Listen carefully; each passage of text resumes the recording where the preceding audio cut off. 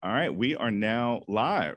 So, welcome everyone officially now to the uh, third annual North Carolina Autistic Career Summit. I'm still trying to teach myself to look into the camera, even though we've been on Zoom for a while. It's hard not to look at the screen, but you know, I, I don't get to see all of you. So I'm really, I'm just staring at myself at this point in time, wondering if uh, my face is uh, too shiny for all the lights that's going on here. Um, I am coming to you. Uh, it looks like I'm coming to you from like a basement that I do podcasts in. I, am actually coming to you from uh, NC State here. Uh, I work in the Career Development Center. Right now, I am in the College of Sciences, which is the primary college I serve. I, I am the career counselor for the College of Sciences. My name is Wesley Wade. My pronouns are he, him. I also um, work with military and veteran students on campus. I've been on the advisory council for the Black Male Initiative, which is a learning and living village here at North Carolina um, that CJ Jackson runs, does a great job with that. Uh, and I also run the Students Moving Forward program, uh, which uh, Dana Thomas and I co-founded um, a while back. Uh, about this is the fifth year of the program, and um, I run and operate the uh, North Carolina Autistic Career Summit, and we are in the third year for that now.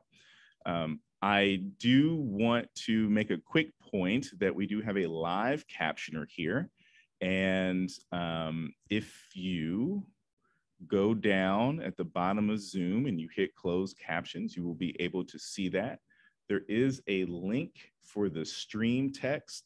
Um, Becky, I, I do not, uh, I gotta, I gotta dig to find that link. Uh, do you have, well, you can't do two things at once. You're you're over here doing this. Let me um let me get that link for you so I can um uh, send it out here.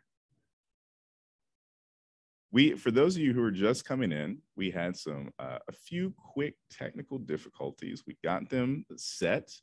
We are ready to go. Um, and I just realized I need to send a link for those who want to use the stream text um, in addition to this. And I thought I had. That. I have placed in the chat. Wait. Oh, perfect. Look at it. This is why I have people uh, who are amazing to help me out because I have no idea what's going on sometimes. Thank you, Becky. Appreciate it.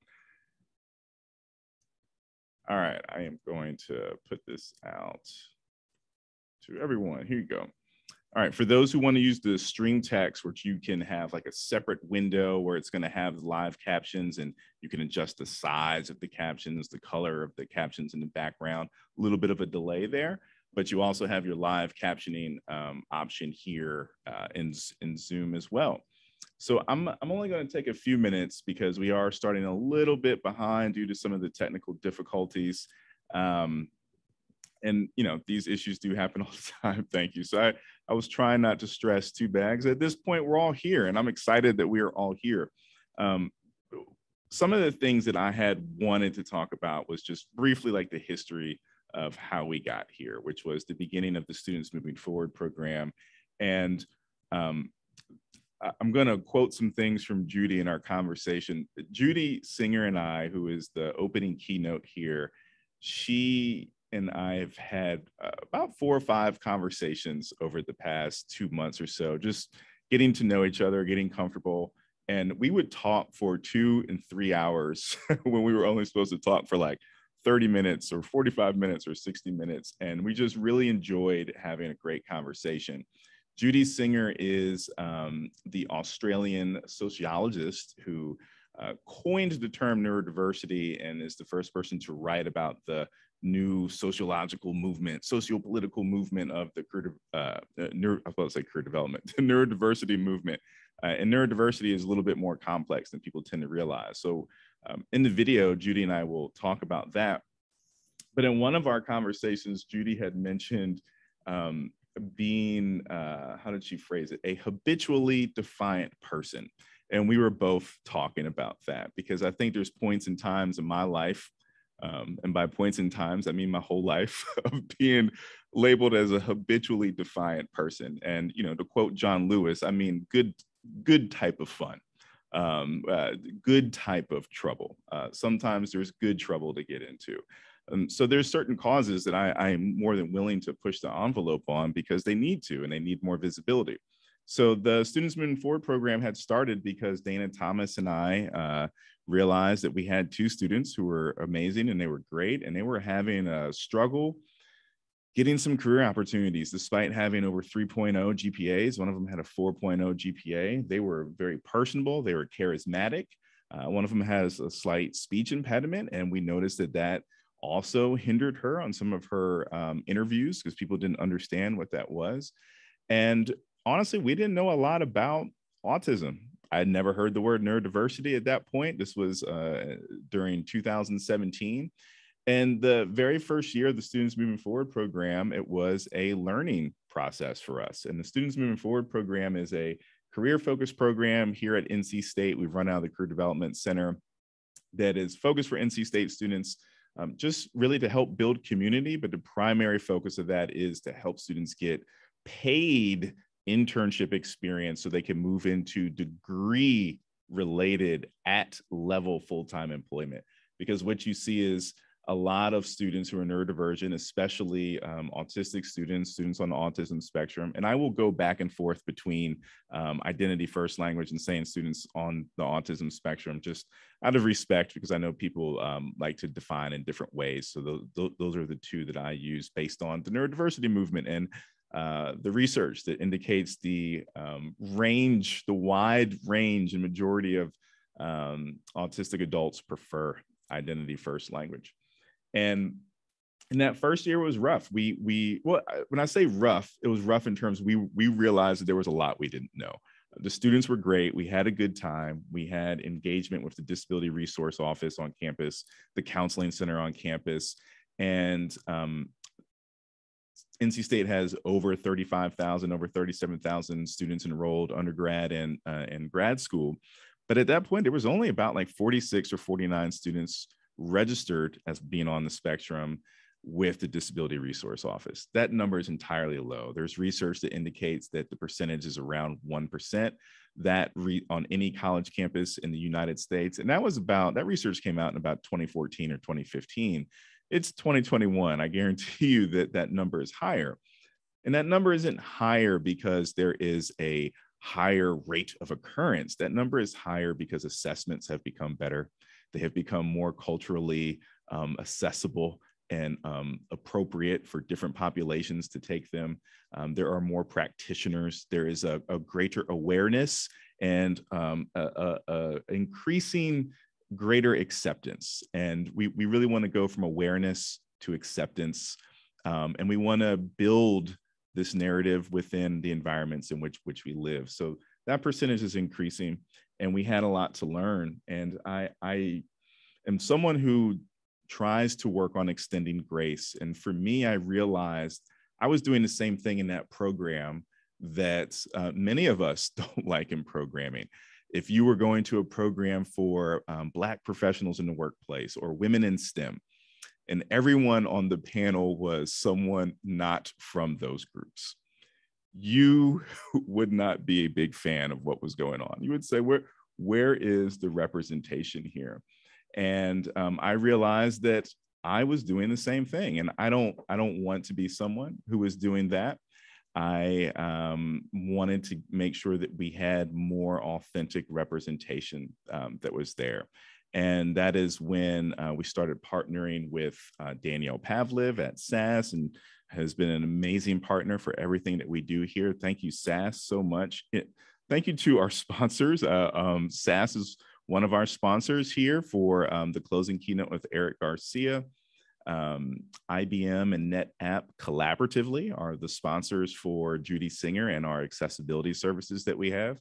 And uh, the Career Services Office out of the UNC Charlotte uh, University over here in, in the Queen City, a few uh, hours down the road is the sponsor for our uh, student awards that we have. And Danielle Pavliv put me in touch with Magnus Hedemark, who has become a great friend, who is going to be on our response panel to the recording with Judy Singer.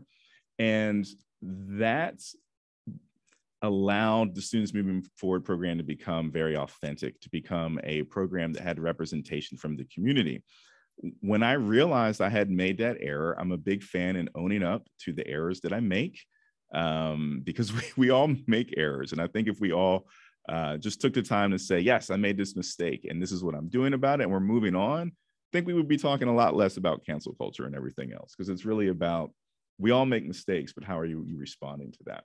And um, started building uh, authentic representation in the group. We have a professional advisory board that is diverse racially, ethnically, gender wise. Um, and and uh, career wise and this is not just for people who are in stem. We have a lot of people who are in computer programming or in different areas of stem. I have students who are studying genetics. I have students who are studying zoology. I have students in political sciences and chemistry and history uh, students who are studying um, other languages.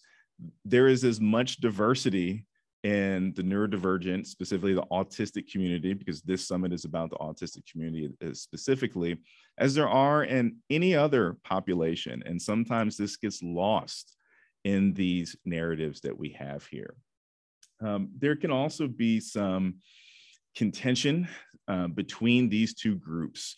Uh, and by these two groups, I mean people who embrace neurodiversity and people who really don't like it. And what tends to happen is there is not an accurate understanding of what neurodiversity really is, and neurodiversity is for everyone. Um, the other, and we'll talk more about neurodiversity in our conversation with Judy that I'm about to play here. Um, there is um, there is uh, a quote that I was going to use, but technology issues have kind of pushed me down. I was going to share my screen here and do a poll for you. Um, but people get misunderstood often. Civil rights movements, social justice movements get misunderstood often. And the neurodiversity movement is a social justice movement. That is one of the three components of the um, what I call the theor- theoretical framework of, of neurodiversity. There are no social justice or civil rights movements that are clean and that are neat and that are tidy. The Black American civil rights movement of Martin Luther King um, and other folks and SNCC and other people who were in that 60s and you know late 50s era was very different from the Black Lives Matter movement that we have going on now. And Martin Luther King got a lot of criticism when he was alive. A lot of people who say they like him now did not like him back in that day. It, um, they also operated on a philosophy called the perfect victim uh, strategy. So, if you do some digging, you will understand that Rosa Parks was not the first woman to um, do a boycott on a bus. I, and I don't remember the person's name because, again, technology, I don't have my slides, and that is my my fault. Um, but the very first person was a darker skinned black woman who did a bus boycott. She was a teenager. I think she got pregnant at an early age when she was adolescent. She didn't fit the narrative of a perfect victim. And what we mean by a perfect victim, it is a person that will feel more palatable to um, the majority, the people that we are. Thank you, Claudette Colvin. Thank you very much. Um, for a, a, a, perfect victim is a person who would feel more palatable to the people we are reaching out to, right? A lot of people weren't fans of that. A lot of people weren't fans that they thought MLK was putting um, college students in the line of jeopardy, right? Uh, the Black Lives Matter movement is more of a grassroots movement. It is not organized uh, intentionally. And it does not operate on the perfect victim strategy. It says it doesn't matter if someone was an imperfect person because we all are um, this person still has rights and they have the respect to dignity. So these two movements were very different. And my purpose of stating these things is that there doesn't have to be 100% consensus in any social justice movement. No group is a monolith. There will never be 100% cons- consensus within any group or in any social justice movement. Our role is to navigate this, um, to seek understanding when people are um, validating our humanity and our experiences. And I tell my students and my clients, uh, as well, my private practice is you can't agree or disagree with someone until you understand them, uh, assuming that that person validates your humanity. I do, I do want to make very clear about that. Um, but you have to understand someone. Just because I understand you doesn't mean I agree with you, but we need to seek understanding. And so um, I'm going to get started with the video here, uh, but I wanted to um, begin our session and our, our welcome message with that. And uh, I'm laughing because I think I had some technical difficulties at the beginning last year as well. And I didn't get to do my full welcome message, but I think we got to do enough. And I really enjoyed this conversation that I have coming up with Judy. I had to edit this um, because it was over three hours long. We had a really deep, wonderful conversation uh, Judy and I will continue talking because she's just a, a become a really good friend. Um, and uh, my editing skills are not great, so you're going to see some very sharp pivots in some of these. But I think it, I think it's well, and it's about 58 minutes long. So I condensed a three-hour plus conversation into a 58 minute um, discussion here, and I, I enjoyed it. And Judy got to watch it too, and she she enjoyed it as well. So I'm going to play this after we release the Snyder I got you. I got you. So um, I'm going to play this. We'll take a brief five minute break after this um, and then get ready for the response panel.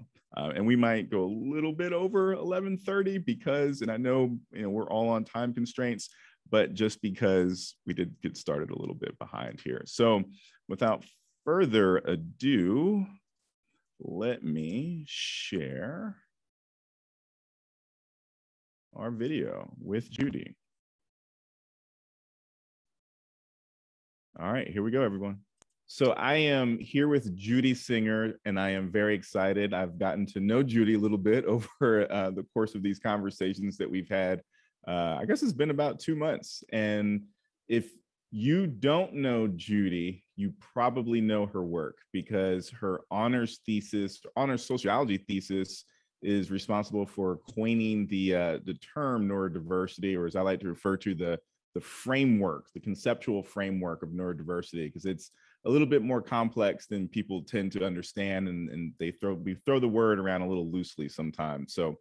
I am here with Judy, and she's coming to us from Australia, and I am uh, here in the U.S. So uh, who says that we can't play nicely together? Well, thank you. And since I'm here in Australia, I've got to do something that is now standard in any kind of academics or corporate setting, and that is um, a welcome to country.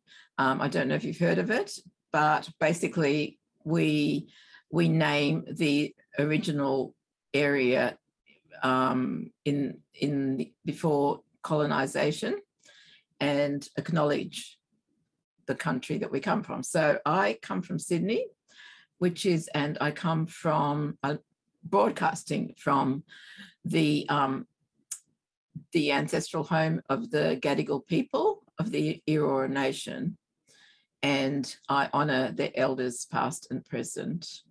And um, I really like the idea of elders because I'm an elder myself now, or I want to be seen as one.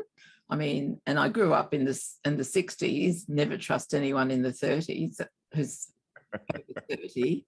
And now I don't want to pay that price anymore. So I'd like to be a neurodiversity elder. You are you are definitely the neurodiversity elder. Uh, many of us have lovingly called you the uh, fairy godmother of neurodiversity. Uh, uh, Magnus was uh, Magnus Hedemark was the first person who, who uh, showed me that term, and I, I, have found it very endearing since then. Well, I actually told Magnus that, you know, I said, you can think of me as a fairy godmother of neurodiversity. I really um, like credited for all my phrases. What, what you did at the beginning there over here, we call it uh, a land acknowledgement. And uh, I, I, this is another reason why I have enjoyed conversations with you. It's, uh, it's a great sense of honesty. We've uh, I think we found out that we have a lot in common, although you are much more experienced and traveled and uh, everything than I am. But it's been fun to learn from an elder in their diversity and in, in, life in general. So uh, I'm, I'm going to start with the first questions. We, we've we've talked a lot about a lot of different topics. We're, we'll try to keep it as condensed, and maybe even the magic of editing can can help sometimes here. With neurodiversity, um, a lot of people have different understandings of it. Sometimes they haven't read your work to really understand that there are, uh, you know, multiple components of it. For you, what are some aspects of the neurodiversity framework that you see people get wrong that you wish they understood? Well, first of all, when I I realized that language evolves, and I didn't I don't own the term just because I kind of happened to be in the right place at the right time to pronounce it. Um, so, um, but nevertheless, I have quite strong feelings about it. Um, so, what I find very upsetting is when people use neurodiversity as a synonym for neurological disability. And that just means that once again, we're, we're um, into othering people with um, these neurologically labeled conditions. For me, neurodiversity is a fact about the planet. It relates to a place. We are a neurodiverse planet. Um, it's based on the concept of biodiversity. You wouldn't talk about, you know, Skippy is a is a neurotypical kangaroo, but I don't know. Skippy's uh, Skippy's little Joe, little Joey. Okay, little Joey is is a is a bio is biodiverse. You know, like that's just mm-hmm. completely ridiculous, and it's really important because for me, um, neurodiversity. I used it to name a movement. I didn't think people were going to use it to see it as a disability, but uh, it was about the importance of neurodiversity just uh, to culture as biodiversity is important to ecosystems in the sense that the more diverse uh, uh, biota is, the more um, sustainable um, and um, productive it is. And so I was hoping that neurodiversity would be something similar. Maybe I'm not so keen on productivity, but I couldn't remember the other adjective. So yes, from a business point of view, productivity is important. Mm. Um, but from a broader point of view, maybe not. So that's my main my main problem with it. Another thing that really upsets me is there's all these um, definitions of neurodiversity floating around, and both they originate in Wikipedia, and people have not done their research. And people in Wikipedia had no expertise; they just assumed. And the, the thing that gets me is that when they say neurodiversity is a, a is a normal variation of the human uh, in humans. Well, mm-hmm. if everyone is is normal, normal has no meaning. And also, what do they even mean by normal? If they're trying to say neurodiversity is like rainbows and sunshine normal and nice, well, human nature is not like that. And so to me, it's just a kind of really happy, clappy, thoughtless, um, kind of lazy shorthand. It's not that at all. Yeah, I, I, I, we had talked about that a little bit because um, I was you had tested me one day uh, when I've taught like four or five times, and you were like, "Well, what do you think about this?" And uh, I, I knew I was being tested, and I was trying to break down the the um, biological diversity aspect of it from a biodiversity perspective, but also the neurodiversity paradigm and then the neurodiversity movement, which um, uh, Dr. Nick Walker, she has some great writing on that that helped me understand that further as well. It was really clear and concise because uh, I felt a little embarrassed when you had first said it because before I had really understood it, I used that same phrasing. And we all grow and learn. That's that's something that's important to me is that you know, none of us are going to get everything right all the time. I say I was not testing you. I was just trying to see how you received it. But that's, you know, red pencil, my friends, you know, so I can be pretty. Told me that before, and I haven't let it go. Yeah. on Twitter, and I'll give you hell. But in a conversation, I'm much more forgiving. Right. Well, you know, what else is Twitter for besides that, right? Um yeah, no I, I appreciate you saying that because you said that before as well and uh, you know i it's you know i'm talking to the fairy godmother diversity so you know it, it, it felt a little pressure for me but i was glad that i understood um, enough to read your work enough and you know some work of other people to understand that component. I also do want to acknowledge that we're only a few minutes into this conversation and i'm talking to someone from australia and we have already mentioned kangaroos so this is already going great for all the Americans. We're like, this is this is fantastic. This is lived up to all the stereotypes we have about Australia. might hear a kookaburra in a minute if you're lucky. um, so uh, with the productivity piece, which you were talking about, right, with neurodiversity, and sometimes it can get lumped into with that. Um, there's there can be like contention with neurodiversity where you have uh, at times some organizations, not everyone, but it's it's only from an aspect of you know productivity, and then you have other people who just don't like the term because they feel that it is limiting to disability. Um, how do you feel about the relationship between disability and uh, neurodiversity? Well, it depends what you mean by disability, um, whether you're talking about the medical model of disability, something wrong with the individual that, that medicine and psychology can fix or try to fix, or the social model, which says that, well, the extreme social model would say, which I don't adhere to, by the way, would say that um, it's all society creates disability um, by some barriers. Um, you know, the obvious thing is is um, you know no ramps for wheelchairs, that kind of thing. Um, I don't agree with that extreme view. Um, I just think it's a it's an interaction between between impairments within the individual that make it hard to function, that require a lot of support, um, and versus um, environments that make it worse or don't help or don't accommodate it. So, um, yeah. Does that answer your question?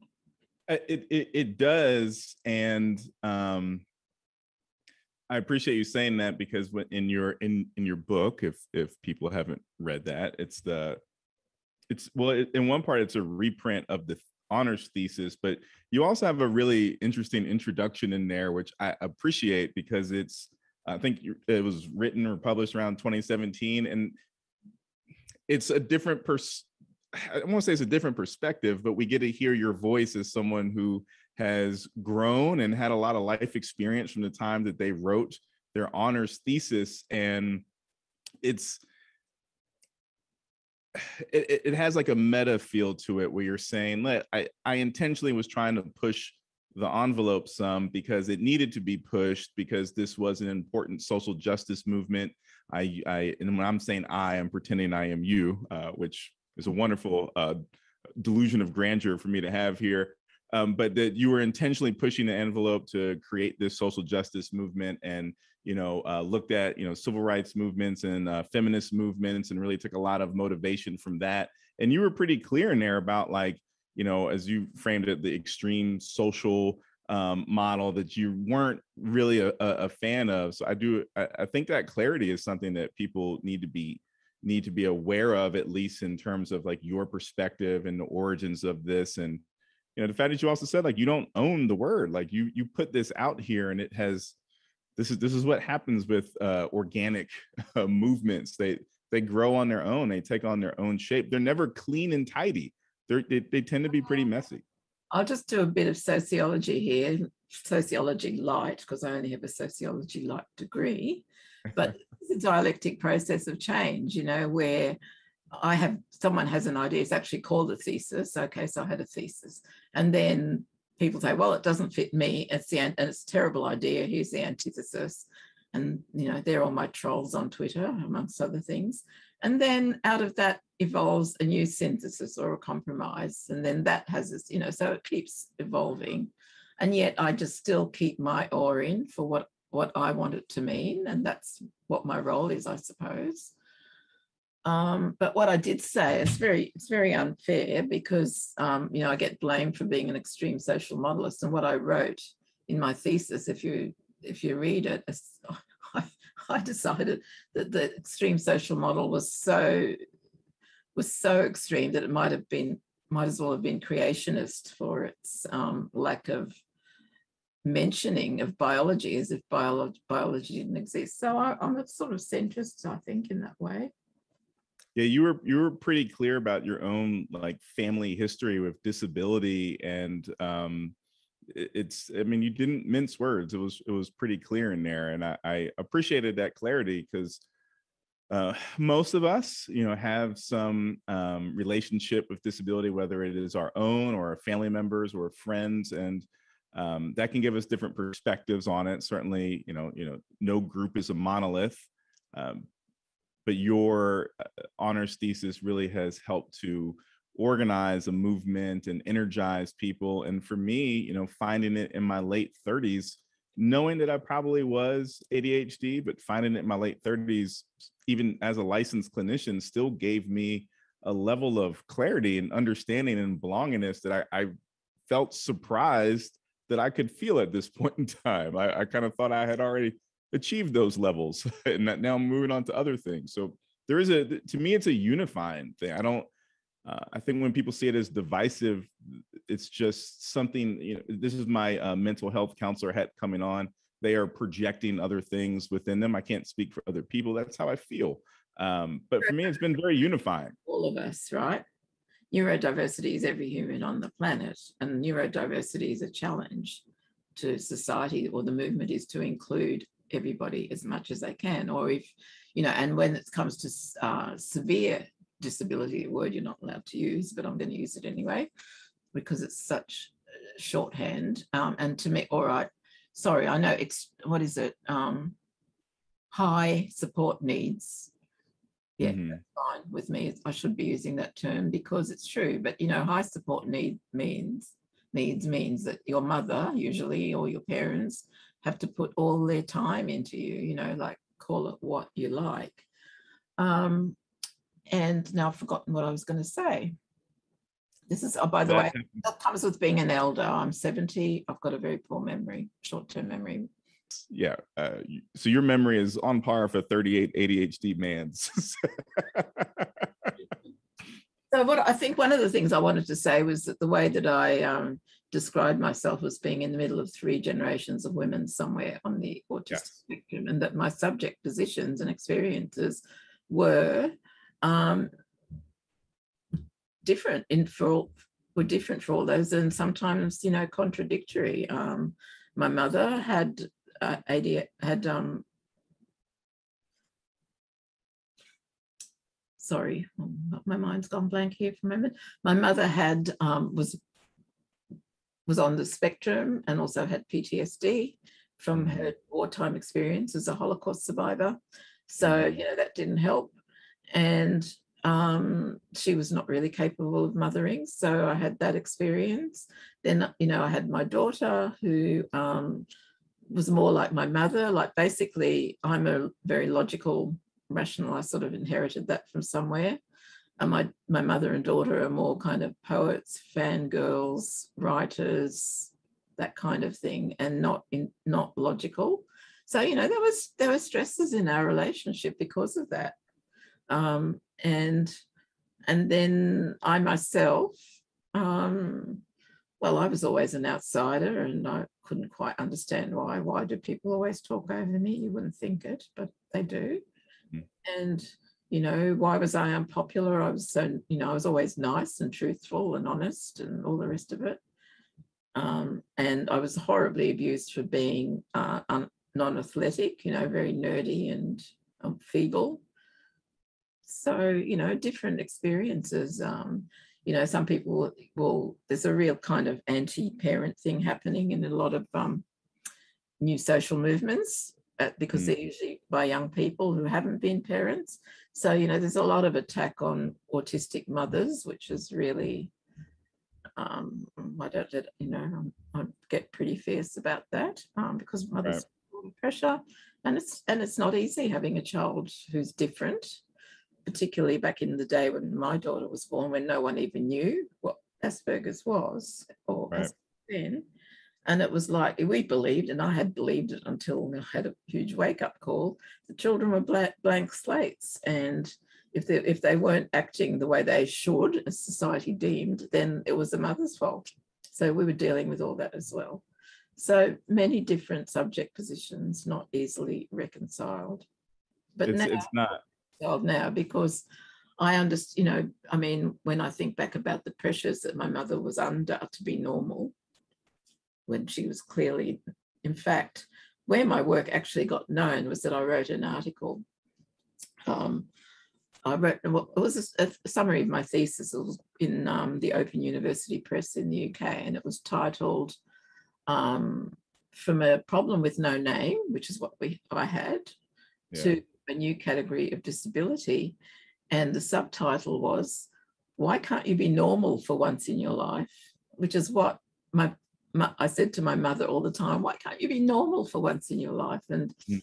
my father used to say it to me sometimes why can't you you know why don't you just get married and have girlfriends and you know become a doctor like what's stopping you so I share that experience to a degree. I have a loving family. Case they see this, I love you.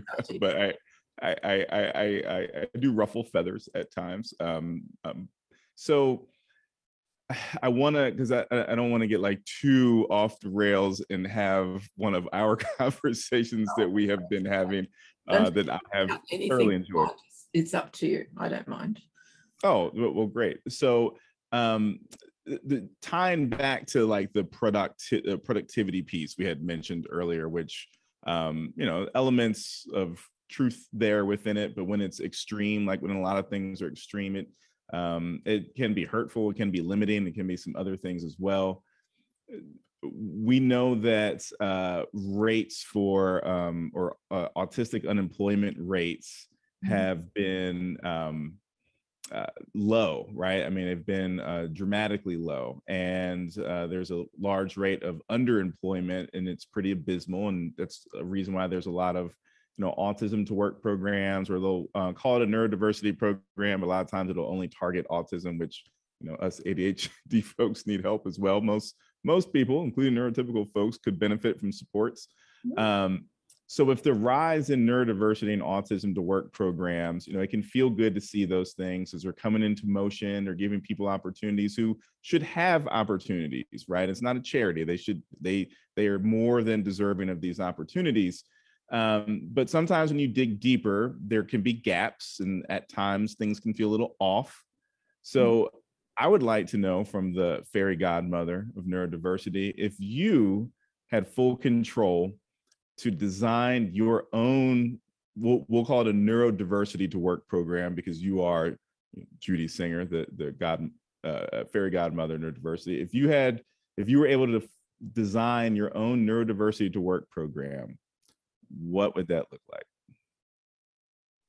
oh my god i should have given this more thought well this is great because then we can just we, we can get that pure that pure uh, uh just Pure stream of consciousness pure distillation of pure ignorance um might start another movement Yeah, well, all right. Well, you know, I'm not really good at positive thinking. I can, I'm much better at negative thinking. All right. So what I would do is, you see, I can't see the workplace in isolation. I'm sorry.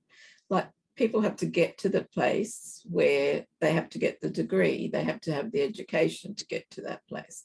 Who's getting that education? and that brings in all the other intersectionalities you know like obviously gender race class all the other things so equal equalizing opportunity right through the system um, and then um, once someone has got the qualifications um, at the moment what we're seeing is seems like a worldwide trade in male computer programmers um,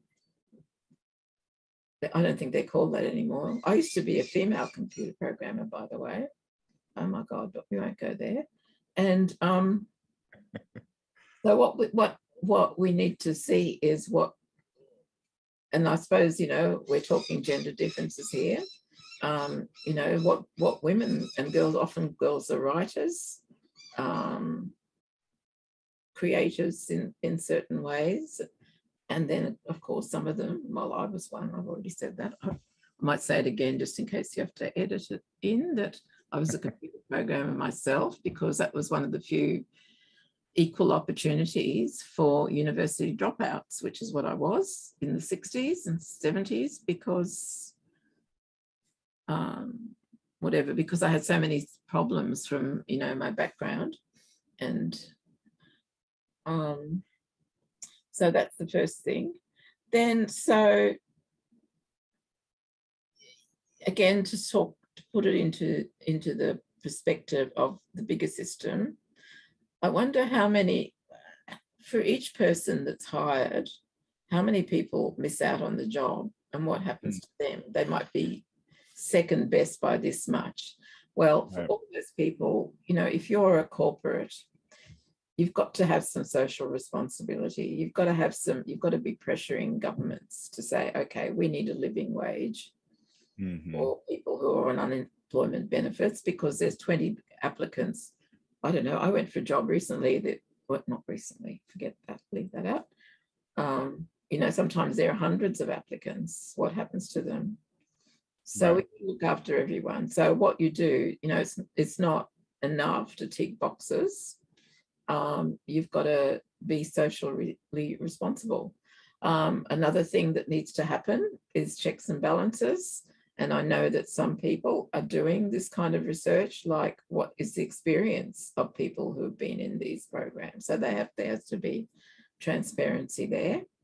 Um, in terms of um, accommodations, like for me, I'm not a psychologist, I'm not an organizational anything. It's like basically it's kindness, it's self-awareness, it's knowing about the manifestations of these uh, disabilities.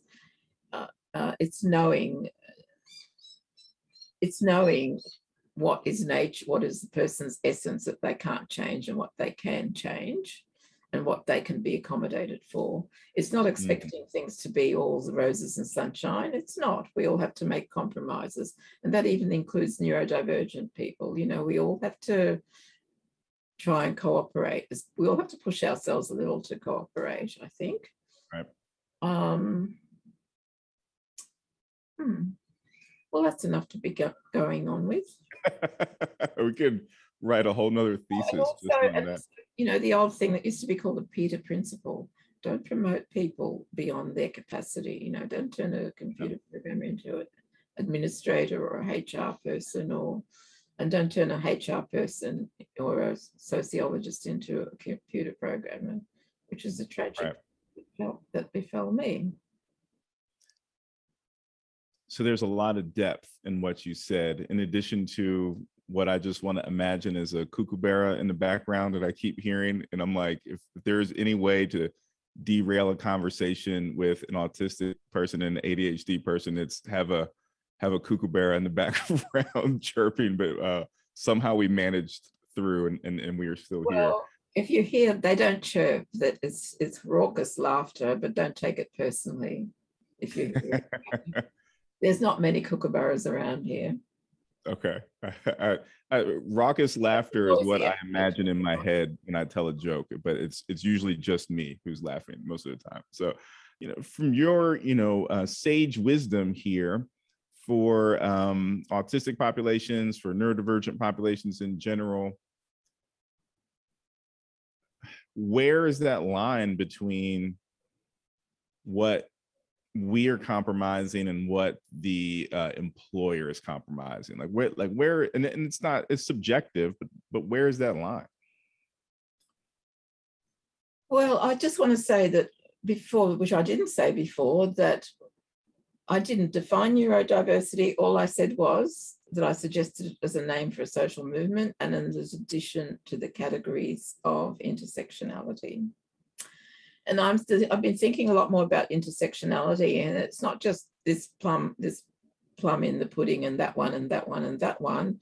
I reckon, you know, you could almost, I reckon you should rate them, you know, like you get so many for being black, you get so many for being uh, gender different, you can get so many Mhm. for being, you know, a diaspora person, and so on. So, you know, people, there is no line, is there? Well, right again, you know, I kind of understand um, that in America, the the um, black civil rights issue is Mm. is very strong, and it's it's strong here in Australia for Indigenous people as well. right And I don't know, you just got to keep fighting and you just got to keep, sometimes you have to pass and sometimes you don't. I should say that I'm not, I don't identify as white, I identify as a Semite and I do an enormous amount of passing um, Mhm. as well. And it's, it can be really infuriating and, and, and it just can make you so angry in the background and you know you're supposed to come to work and i'm sure every minority feels that you have to come to work and you put a lot of that aside because that's not what work is about um, but you know I'm, I'm not suggesting we go into a revolution now and destroy all by any means but, Right. you know and yeah it, it's it is not easy and you know I, I find it and i said this a little bit earlier but i find it very easy uh, very interesting when people have uh, like now you know we have uh, different opinions on everything everyone and we should have different opinions on stuff uh, to a degree. And uh, with uh, the neurodiversity movement that's usually what people are really referring to when they're talking about neurodiversity is um, can be um, it, it, it, it can you know push people over into uh, different camps at points in time right? And for that misunderstanding as we were talking about earlier their conception of it without having you know really read your work or some other really good works on neurodiversity as well. And um it's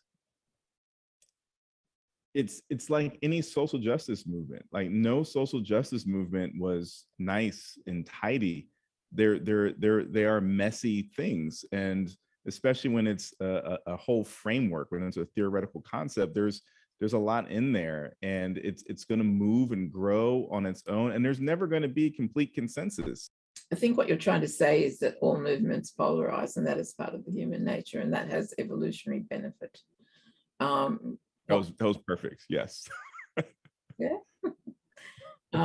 with um well like uh going getting back to the productivity thing and we're uh, the uh judy singer's neurodiversity to work program is what we're going to frame it we're, we're, going to get a big neon sign and that's what it's going to say um the corporate responsibility let's talk more about that because i sometimes people ask me questions about um, the programs that I do, like the Students Moving Forward program at NC State, which is a career focused program. And uh, we collaborate with other partners in the state, like uh, the Linkit internship program and UNC TEACCH and SAS and other corporations and other institutions. And there's a lot of good that comes out of that. Um, you know, but there's a whole state and country and world, and there's people doing this. And there is a role of corporate responsibility here. So, like, what is what really is the corporate responsibility for Judy Singer's neuro, neurodiversity to work program?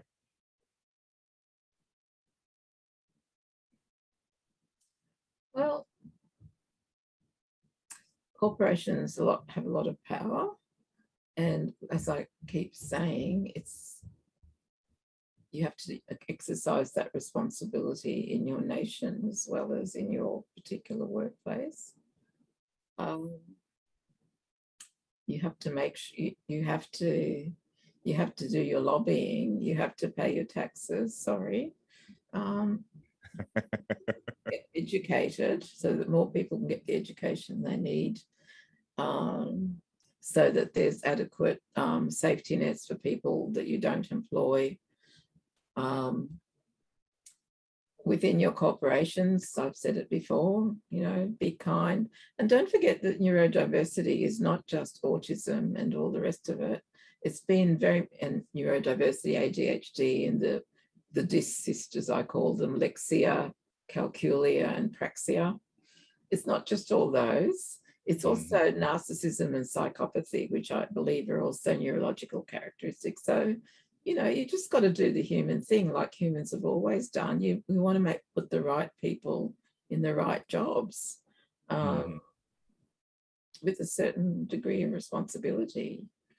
You know, don't make people managers if they're if they're kind of got they're computer programmers and that that kind of vision. don't put psychopaths in charge of people just because they charmed you at an interview. You know, it was all a lot about how we change. Oh, so this is where all the experts come in and they've got all sorts of tips on how to make interviews more inclusive, you know, don't insist on eye contact, um, outline what the job really is, not, you know, what the personality characters, but what they actually have to do, try, you know, test people on the job, all those things. I think they're all coming in anyway. So, you know, I do think that this movement has actually already achieved a lot. I've got to say that. Um, Mhm. Being a habitually oppositional, defiant person, which I try not to show in my interviews. But I have to admit, you know, it has um, things are changing. They might have changed anyway because the autism. I mean, all I did was what you know, follow in the footsteps of the autism self-advocacy movement, Mhm. which absolutely pioneered all this, and then attracted all the you know ADHD and all the things, and it was immersed in disability studies. Yeah, we're changing, and you know, for me, I the way we are now, we've got both economies, so everyone's got to keep growing, which is just, well, it's unsustainable. And I've always wanted to, I always hoped that this this movement would make would make the corporate world more humane. Mhm. simply more productive. Um, and yet I understand the I understand how why we got this system. We've just got to keep being productive, even though I don't even want to bring the uh, environment in, but I will because Yeah. the more we produce, the more we wreck everything. And somehow this has got to change. And I'm not being a HR person or a psychologist about how to fit people in. I just want to look at, at the whole system. And and yet I think we are making it more humane. And who knows what good things may come of it. I think we have the official title for your program. It is the Judy Singer Neurodiversity to Work Program, making corporations more humane. I think I think that's that's the title. We're gonna get some neon signs and we're gonna hang that on your new office building that we're gonna build for you down there in Oz, and um, and we're gonna get started with that. I I appreciate hearing that because um, I do see movement, and it's hard because we want progress and we want it quickly because people are suffering, people are, are hurting for for no reason at all. Sometimes job applications, excuse me, can feel like popularity contests at points in times. Uh, we want like uh, you you hear a job description and it'll say things on the lines of we want someone who's enthusiastic and who is a rock star and who has a go-getter mentality. And I, re- I remember being 16 years old because my dad was st- stressing to me how I need to get a job and I've had had had many jobs by the time I was 16 but um I was reading these job descriptions and I was like what does this mean I have like I don't want to be these things if they are what I think I don't it just it's very ambiguous and it it just feels very fake and it's i- if you feel very wrong about lying it's like why am I going to go here and lie to people even though I'm it's it's it's not um it's not logical to me at points in time um, for an autistic sort of person or person on the spectrum, and by that I mean, and by the way, I have other traits as well that are autistic, and dyspraxic is even more been caused me more grief than even being autistic because that kind of made me brainy, I suppose. But it also made me just want to be really truthful, and you know, people would ask, it would just kill me. Why do you want to? Why do you want this job? You know, that kind of question, and it was like, because I've got to pay the rent. That's why I want it and um, and I'm prepared to put up with a whole lot of stuff to do it. You know, don't ask people stupid leading questions like that. I agree. So, uh, so uh, maybe it's not. You know, I'm not um, downing anyone's work. There's many great uh, studies out there that are trying to help look at all these different ways to interview, and I think that they have merit in um, certain contexts in their own sense. We can do a really good job of overcomplicating things too, and a lot of times it's just as simple as just writing a job description that uh, is less words versus more. And we, as a career counselor at a university, um, myself, uh, people who work in employer relations, we're frequently asking employers to write more concise job descriptions so people will actually read them and to have the job description speak directly to what you are actually looking for that that's step one that's that's that i, I don't always know if we need a um a, a random control study to understand that process right No, you're right. I'm just, do you have selection criteria in, for job applications where you've got to answer 10 selection criteria? Um for some types of roles there there there can be but uh not for like private sector things typically if i'm if i'm understanding what you're saying when you say a selection criteria so maybe if you could elaborate on that and uh so we could be clear Well, they- they'll say things like um, demonstrate your commitment to, this is often government jobs, which I've often applied for. And it's, and uh, it's like, uh, demonstrate your commitment to anti-discrimination or demonstrate your ability to this, that, or the other, or Oh, look, and to me, I just feel like I've got a practical PhD in how to answer these stupid questions, particularly because most of them, a lot of them just even ask the same question in slightly. No, it's just, I feel so sorry for anyone who has to go through that. It's, it's. I always wanted, I would have been happiest, and I think this is true of many people, an apprenticeship type situation. You know, if you if you really want to do something, go and do work experience there, uh, or or be or demonstrate what you can do. Um, yeah uh, uh, an opportunity uh apprenticeship internship. We have a program here in the states called co-op which is like a rotational internship program. Nc state has a great co-op program. And there are opportunities for students young workers uh, to show what they can do and they get solid opportunities. There's not like a always a huge gpa um, wall for these things. And it's it's it's an opportunity to really showcase your skills and your talent. I um have a lot of uh stories that i won't go into about those questions excuse me that you mentioned on those uh, some of these uh, interviews and i hear stories from my students and they're uh, very uh, concerned and they're frustrated. Uh, uh, fl- I was trying to say flustered and I said fl- frustrated. Uh, fl- I just made a new word there. M- Maybe I'll start a movement. It'll be the, the, the frustrated movement. Um, they were very flustered. They were very frustrated.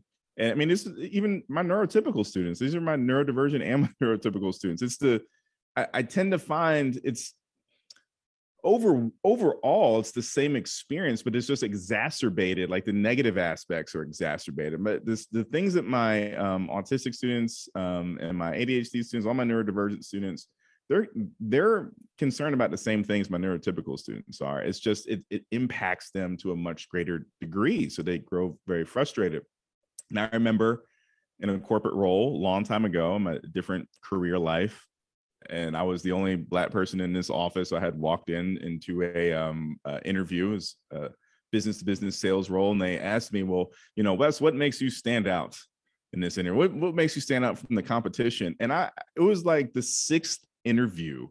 There was six interviews in this process, and I was just, and, and they do that to kind of wear you down to really see if you're going to show your true self. Um, you know, being a black person in America, and not even realizing I'm fully ADHD, I'm code switching and masking and I just I just was done. And at that point, I was like, you, well, you know what? I'm probably the only black person here, so that's how I'm standing out. And I just can we drop the pretense and just get to the like just really show what you want. And I think that's a good point here for the um, Judy Singer Neurodiversity to Work program, uh, helping corporations become more humane is step one to um, understand that there is corporate responsibility. Step two, have a job description that's um, is concise and clear and actually speaks to the job very clearly. Um, and work on selecting the right people for the job. And the right people doesn't just mean someone that is a rock star who has a go getter mentality, who shows enthusiasm and stares you in the eye for 90% of the interview, because it's not always uh, pertinent to the actual job.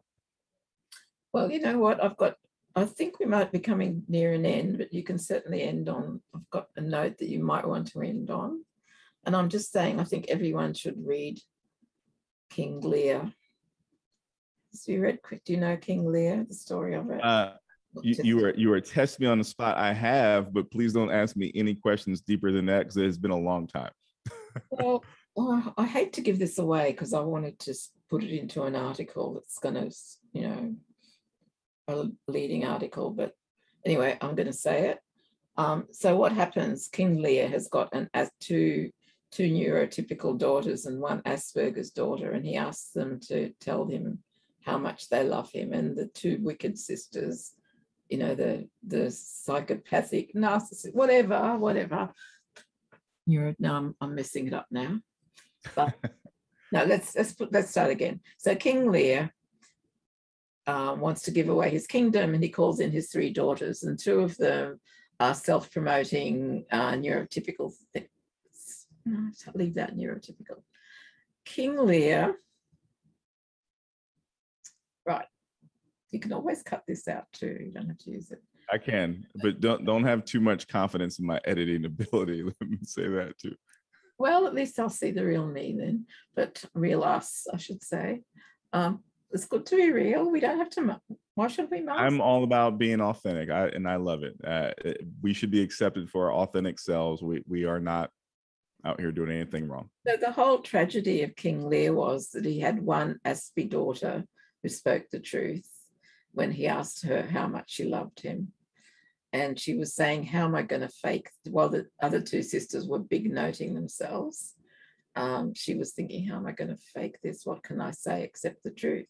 That I that I feel all that a daughter ought to feel. And that so and that was how the whole tragedy started because he fell for the hype. And I think every corporate person should read this as a kind of as a mm lesson in hubris, I suppose. Well, now I have to go back and read King Lear again. Well, I'm, I've actually nearly summarized it. I should put it into my blog. Like, there's only a few things that you naturally need to read. The first speech, where Cordelia is just thinking about, I have to be, she has to be honest.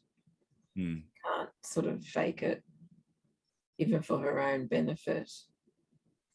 And then all his tragedy unfolds and the whole family is ruined.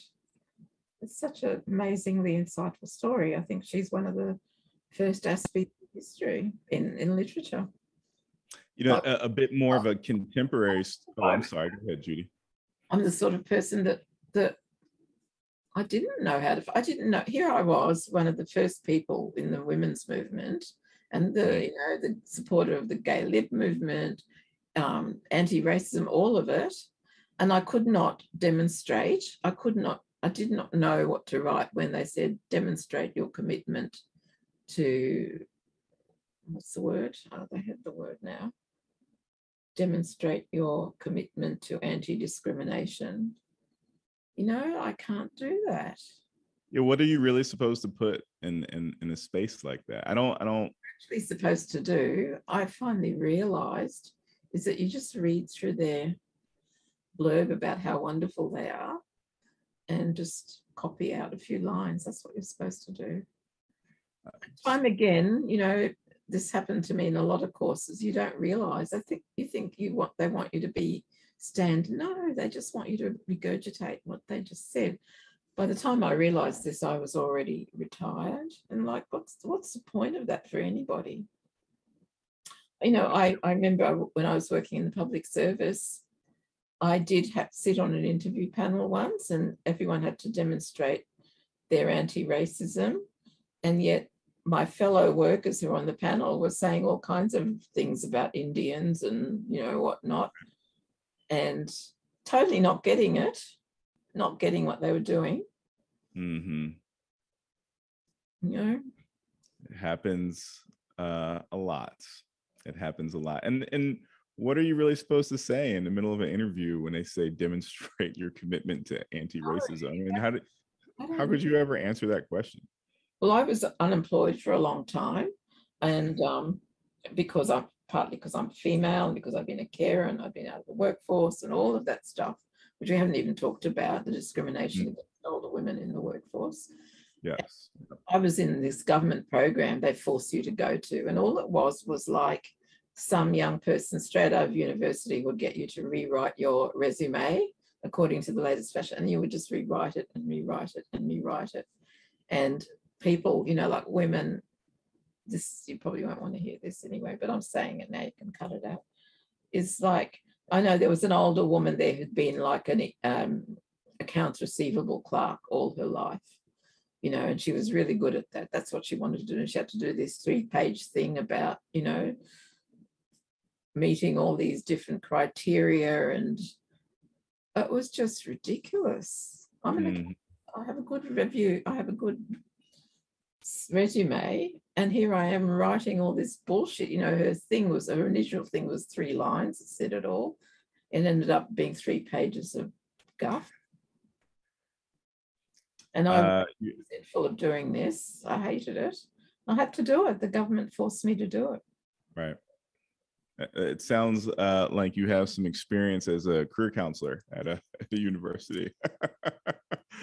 uh, I'm, I'm, uh, I am joking, but it, there is that aspect of it where I'm having to essentially navigate students through a ambiguous process, and I have realized that I'm really just helping students decode things just like I had to decode them, or my students on the autism spectrum have had to decode them as well. Um, I, th- there was another question I wanted to ask you. We have a little bit of time. So, um, I think we, uh, looking at the time, we might have started at a different point um, than when I was tracking, but I'm still recording. Yeah. there were some conversations that you and I had, and you said something that really stuck out to me. Um, we were discussing our feelings about you know the pandemic and everything that's been going on. I mean, you can't have a conversation with anyone that's longer than five minutes and not talk about you know experiences in the pandemic. It's it's a um, an incredible event, an incredible phenomenon in our lives. Uh, you said that uh, us neurodi- neurodivergent folks are canaries in the mine of irrationality Did I? and i i will i will not forget that and i, I think that's pretty relevant to judy singer's neurodiversity to work program keeping corporations or making corporations humane so could you explain for uh, us what you really meant when you when you said that because uh, uh, and we've talked about this a few times i i just I, I love that phrase i thought it was great Minorities are canaries in the mine when things go. Maybe I, I don't know what I actually said. I would I would say minorities are canaries in the mine for when things go wrong, when there's too much scarcity. Um, we tend to be scapegoated more, excluded more. Um, I'm obviously talking now as a daughter of as an Auschwitz survivor who happened to be autistic as well, double whammy. Um, so yeah, I know quite a lot about about what happens to minorities, and it's a it's a worry. And um, you know what we're seeing is when governments incite, as we've had some very populist um, leaders all over the Western world who do their best, help whether overtly or to to point the anger of the people at the minorities, go get them, give them permission. yes That's what I meant. Um, and I meant, um, well, I meant that we don't really know where the economy is going. And if you are in a minority, you better be ready to, to do what? I don't know. You better be ready and prepared and organized because who knows how long it will last.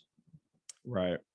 I, I, I appreciate that sentiment and I, I think it connects with a lot of people, uh, whether we are uh, neuro minorities or some other type of minority, since it is a pretty big category that um, just feel on the outside a lot of times. And that's one of the things I have appreciated about uh, discovering your work for myself, uh, stumbling onto it in my life as we tend to stumble onto great things and I've heard the phrase and then learning more about it and just feeling very connected and feeling like, oh, there's there, there's another place for me that uh, gets to define this other aspect of my identity and who I am, um, and my idiosyncrasies and all these other things, and uh, that irrationality piece, I think, is amplified when um, we are neurodivergent. Hmm. Because you know, because you know you're being treated irrationally, and whereas the people who are doing it, they're not they're not critical. Talking about in one of the things I know about intersectionality, which I need to say because people sometimes assume that Mhm. I'm middle class, well off. No, I'm not. I'm at the as a sole parent with no family. Um, I live in public housing. I'm at the lowest percentile of income. Um, because I live in public housing, I'm treated as a second class citizen. Um, whatever I earn, the government gets back um, by increasing my rent, by reducing my pension. Um, I'm middle class by education. Um, so, you know, there's a lot of things going on. I, I was, uh, I came to Australia as a refugee. It was not easy, not compared to what refugees go through now, which Right. makes me even realize that it was so horrible for us, how infinitely more harder life is now. Um, yeah. I just need to say that so that people make assumptions. Right. Well, it's been uh, you know, a little over 20 years since um your seminal work here, uh, your honors thesis.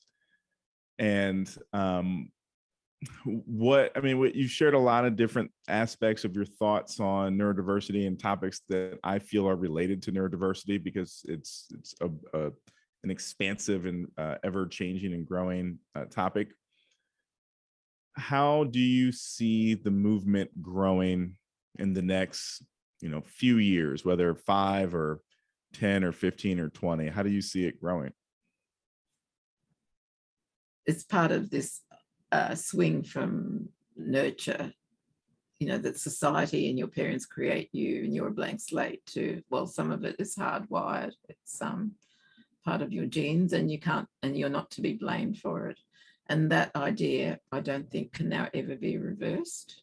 Mm, And that means, and that's what the neurodiversity means, as a society, we have an obligation to include everyone, to to create a niche for them, even, you know, no matter how high your support needs are, you're still a part of society and you still bind society together because for every person who needs a lot of support, there are people who love to give that kind of support. So we're all in this together. And to me, the neurodiversity movement, unfortunately, it became associated with just disabled people, whereas it's a movement for everybody. Is yes People who give, who who who need love or who need help, and the people who love to give love or who love to give help, or the you know, it's we need to find niches for everybody. And how that's going to go in a time of increasing scarcity, I don't know. But you hmm. know what? Change is two steps forward, one step back, isn't it? yeah You need a mix of everybody, don't you? Like that's and that's the thing. We are neurodiversity says no two people are exactly alike.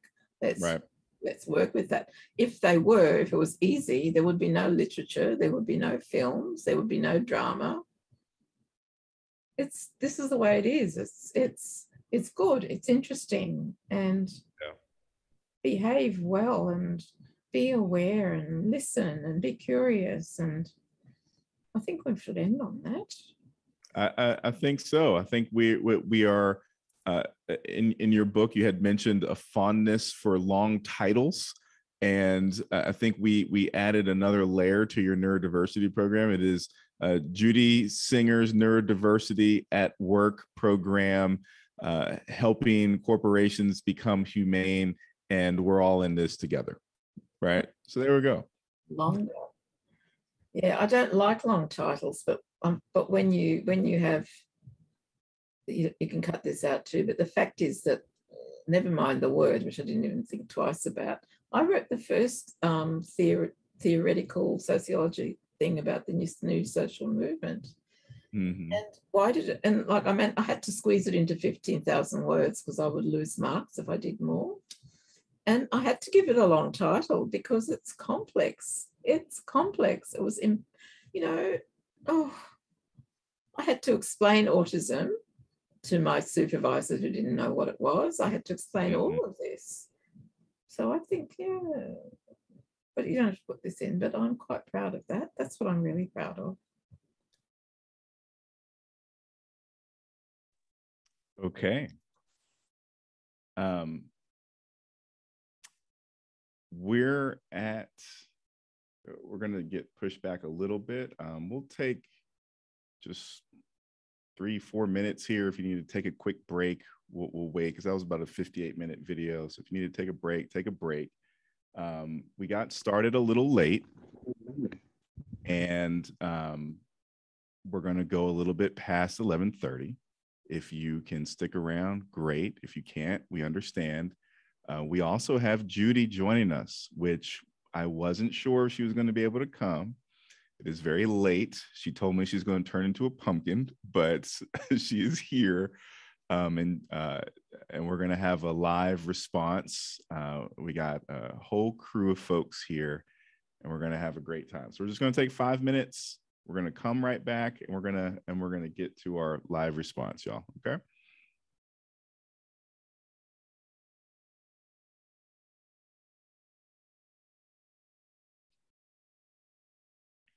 so Ju- judy are you are you are you are you going to still be able to uh you know i i am so appreciative that you uh, made it and I, I i hope you know that you did not have to but i am very thankful that you were here but you are on mute. You're on mute, Judy. Uh,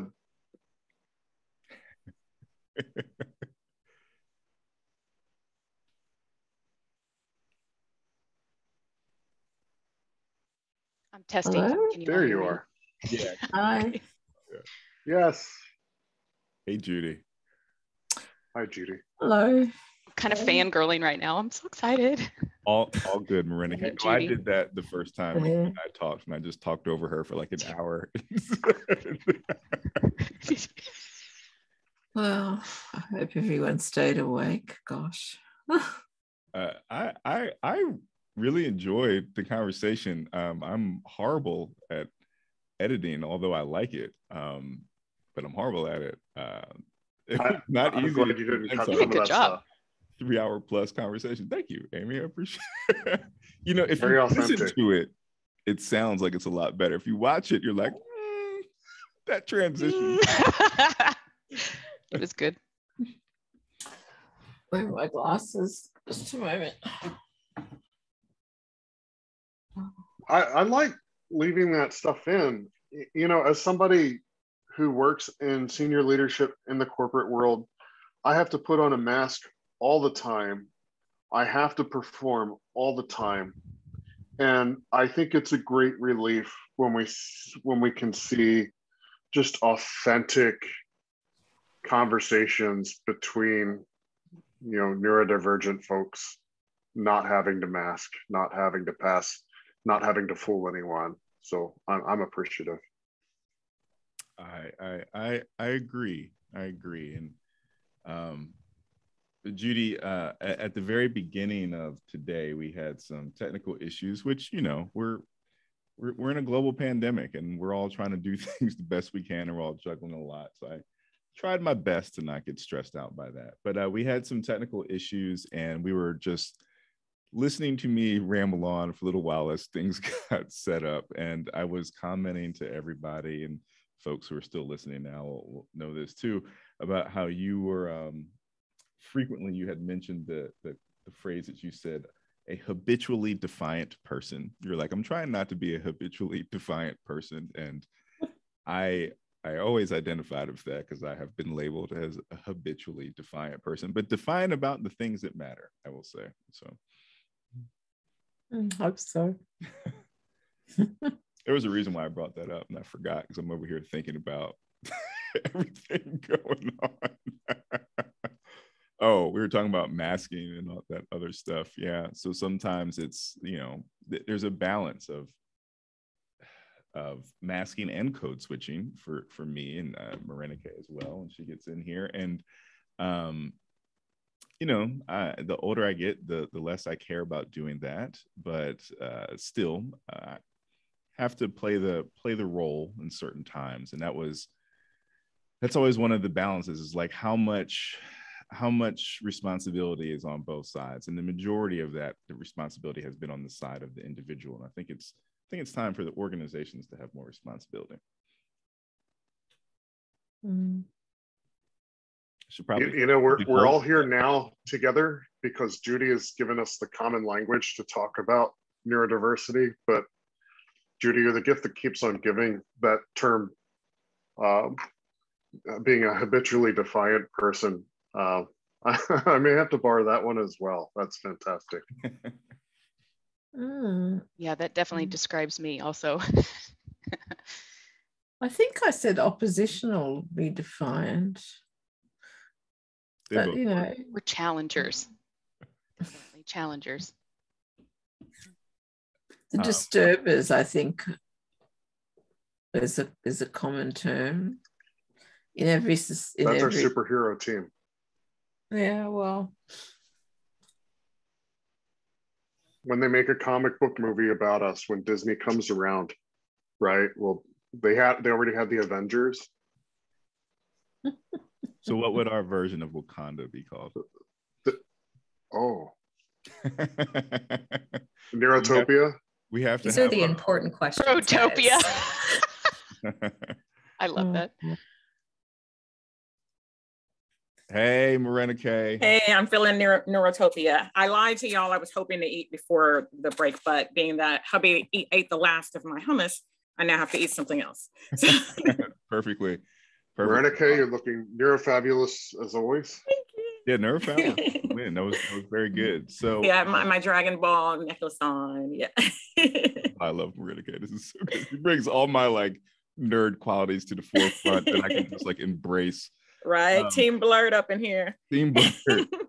so uh, uh, christina my wonderful graduate assistant if you could monitor the chat because i know people have questions and little q&a panel and i you know uh, you know i get um, distracted as well um, so we're gonna i'm gonna go ahead and get started because we have our team here and um, and yes christina said i'll focus my adhd powers away Magnus, Graduate- please. my graduate assistant is also a part of neurodivergent too. So we're all, I know we're all virtually here in Neurotopia, but um, why don't we give quick introductions, name, sentence about what we're doing, where where we are from.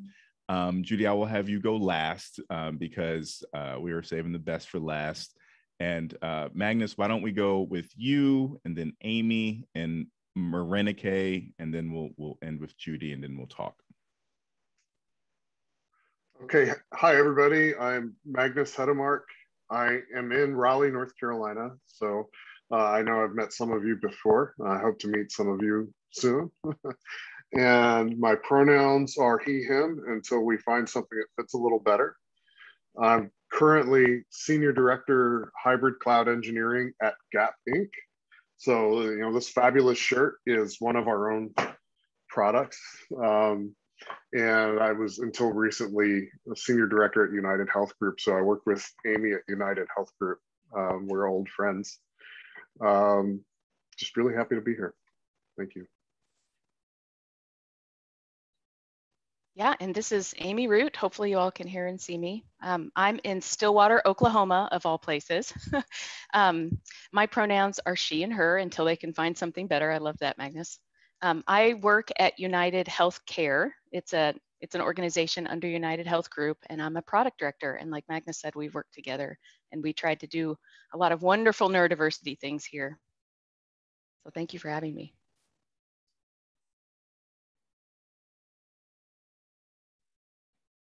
Oh, you're on mute, Morénike. Okay, sorry, trying to multitask and failing miserably. hi, everyone. um, great to be here. And so that, that's a serious question, though, Amy. Like, is it like, is there like a stagnant lake somewhere in the area like that is named after? I'm curious. Um, but um, hi. There's really still water here. okay, cool. Yay. So I love when the names are not fake. Like, there's this part of this area over here called um, in Houston, it's called Pearland, and there's like, but it's spelled like Pearl and, and there's like no pears. I don't know, maybe there were once. But anyway, everyone, um, I'm Morénike Giwa Onaiwu. Um, I use um, she, her, hers, and they, them, theirs pronouns. I kind of um, you know interchange between them. And of course one of my children's ipads or phones or something is is ringing while i'm talking of course. Um, i'm coming to you all from houston texas where i live. And i'm just really um, happy to be here on this panel and to just be able to to you know talk with everyone. I've been enjoying the discussions in the chat that we have. Um, i'm not really sure which affiliation to use. I kind of do a lot of stuff but um, you know in terms of the neurology piece, um, got a lot of stuff going on. So, um, but in adulthood, it diagnosed with um, ADHD, and then later, oh, Eli, yay! And your last name is Montrose, but you probably don't live in the Montrose area. But, but I'm autistic. I was diagnosed um, both autistic. Well, first Oh, cool. Oh, Autumn. Yeah, we all gotta get, gotta get together. But anyway, uh, I was diagnosed with ADHD and then later with autism um, in adulthood. And got some other, you know, um, psycho- psychiatric diagnoses too, and giftedness from childhood. So just really happy to be here with you all and to be able to talk about all these cool things.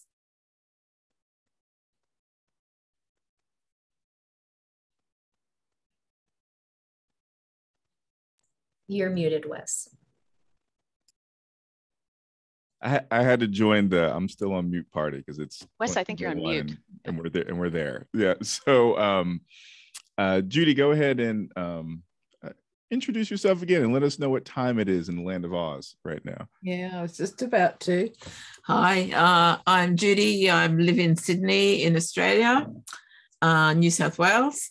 Um, it's one, I don't know, quarter past one in the morning here. So my biorhythms are at a pretty low ebb. So, um, and like any interview, I can't remember who I am. So I think we were talking about this before like, what have I done in my life? I don't know.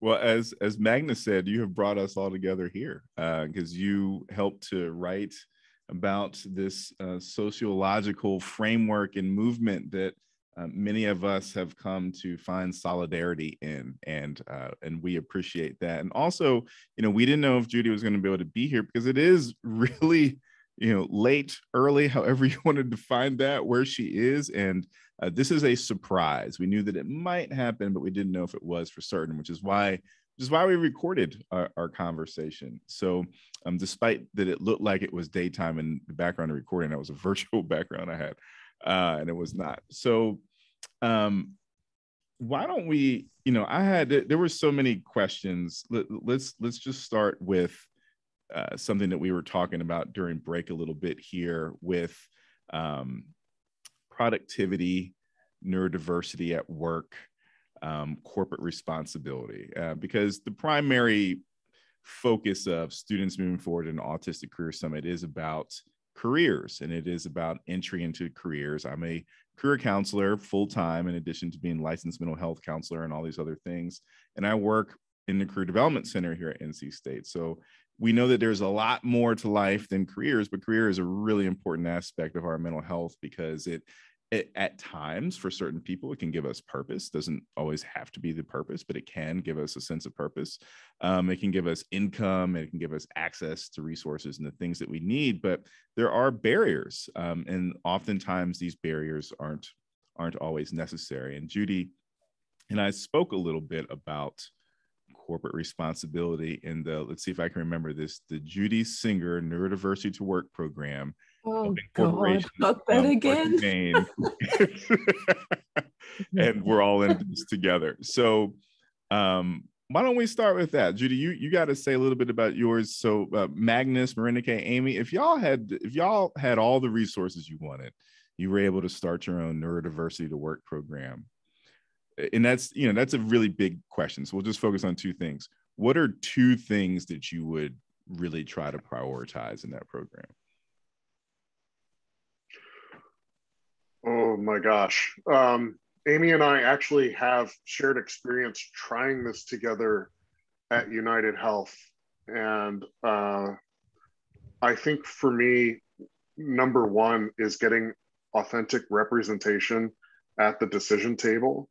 In other words, um, you need a neurodiverse panel of people deciding uh, how the program is going to work. It can't just be neurotypical people in isolation. And I think number two, uh, framing it up as a series of small experiments meant to learn and understand what are the systemic barriers to radical inclusion how can we eliminate those systemic barriers and then shut the program down because we don't need it anymore. Exactly. Hopefully the end game is a short-term program if there are some again we're trying to seek out points of exclusion. We're trying to reduce the barriers. This is a systemic issue. The workplace in my mind is inaccessible for a lot of people like us and a, a bulk of the effort needs to be at the workplace and the in the processes and the um, in the actions that occur so I agree with everything that you all have said, and um, I was listening to what you know Wes and Judy were talking about earlier. During this is like that's like my third time listening to the thing. I just love it.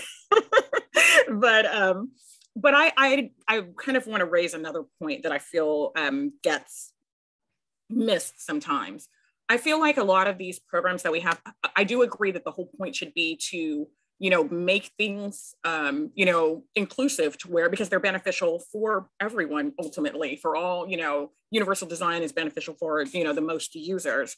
But um, a concern that I have about a lot of these programs is I think when you're starting at work, you're already starting too late. I think that I think about like the analogy of the person who, you know, that was given a, a why are you applying for a job? um, you know, and how you're not supposed to give the true answer, which is I need money like you know? Um and so it's it's interesting because like my mother was not was you know undiagnosed. Still is but i'm con- concerned that she i'm confident that she's autistic. And she had learned all this code switching in life in general culturally religiously you know language and so forth but then also with in terms of her numerology. She said give an answer that's true but won't make them mad. So I need money is true, but they don't want to hear that. They want to hear that somehow all these 16 year olds really, this is like their dream aspiration to do this forever, which is not true.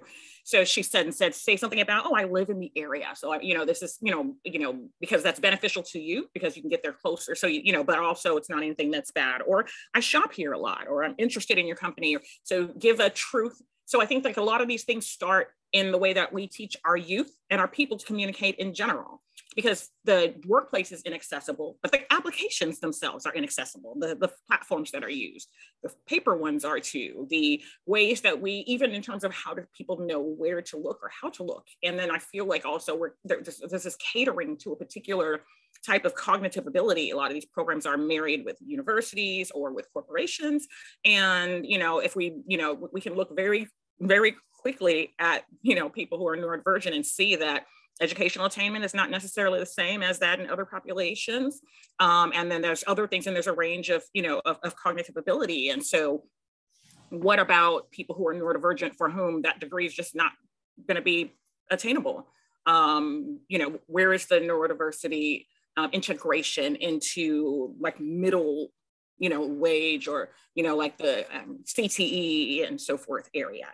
Oh, um, should I somebody else just describe describe code switching because I don't want to monopolize all the time. I, I, yeah, I saw that. We are Eli. We're definitely gonna get to that. So, um, uh, Judy, you spoke really a little bit. You and I had a conversation about masking and code switching and that sort of stuff, and you were talking about your experience uh, of how you don't identify as white, you identify as a Semite, which was your words, and um, in your own history, your own family background.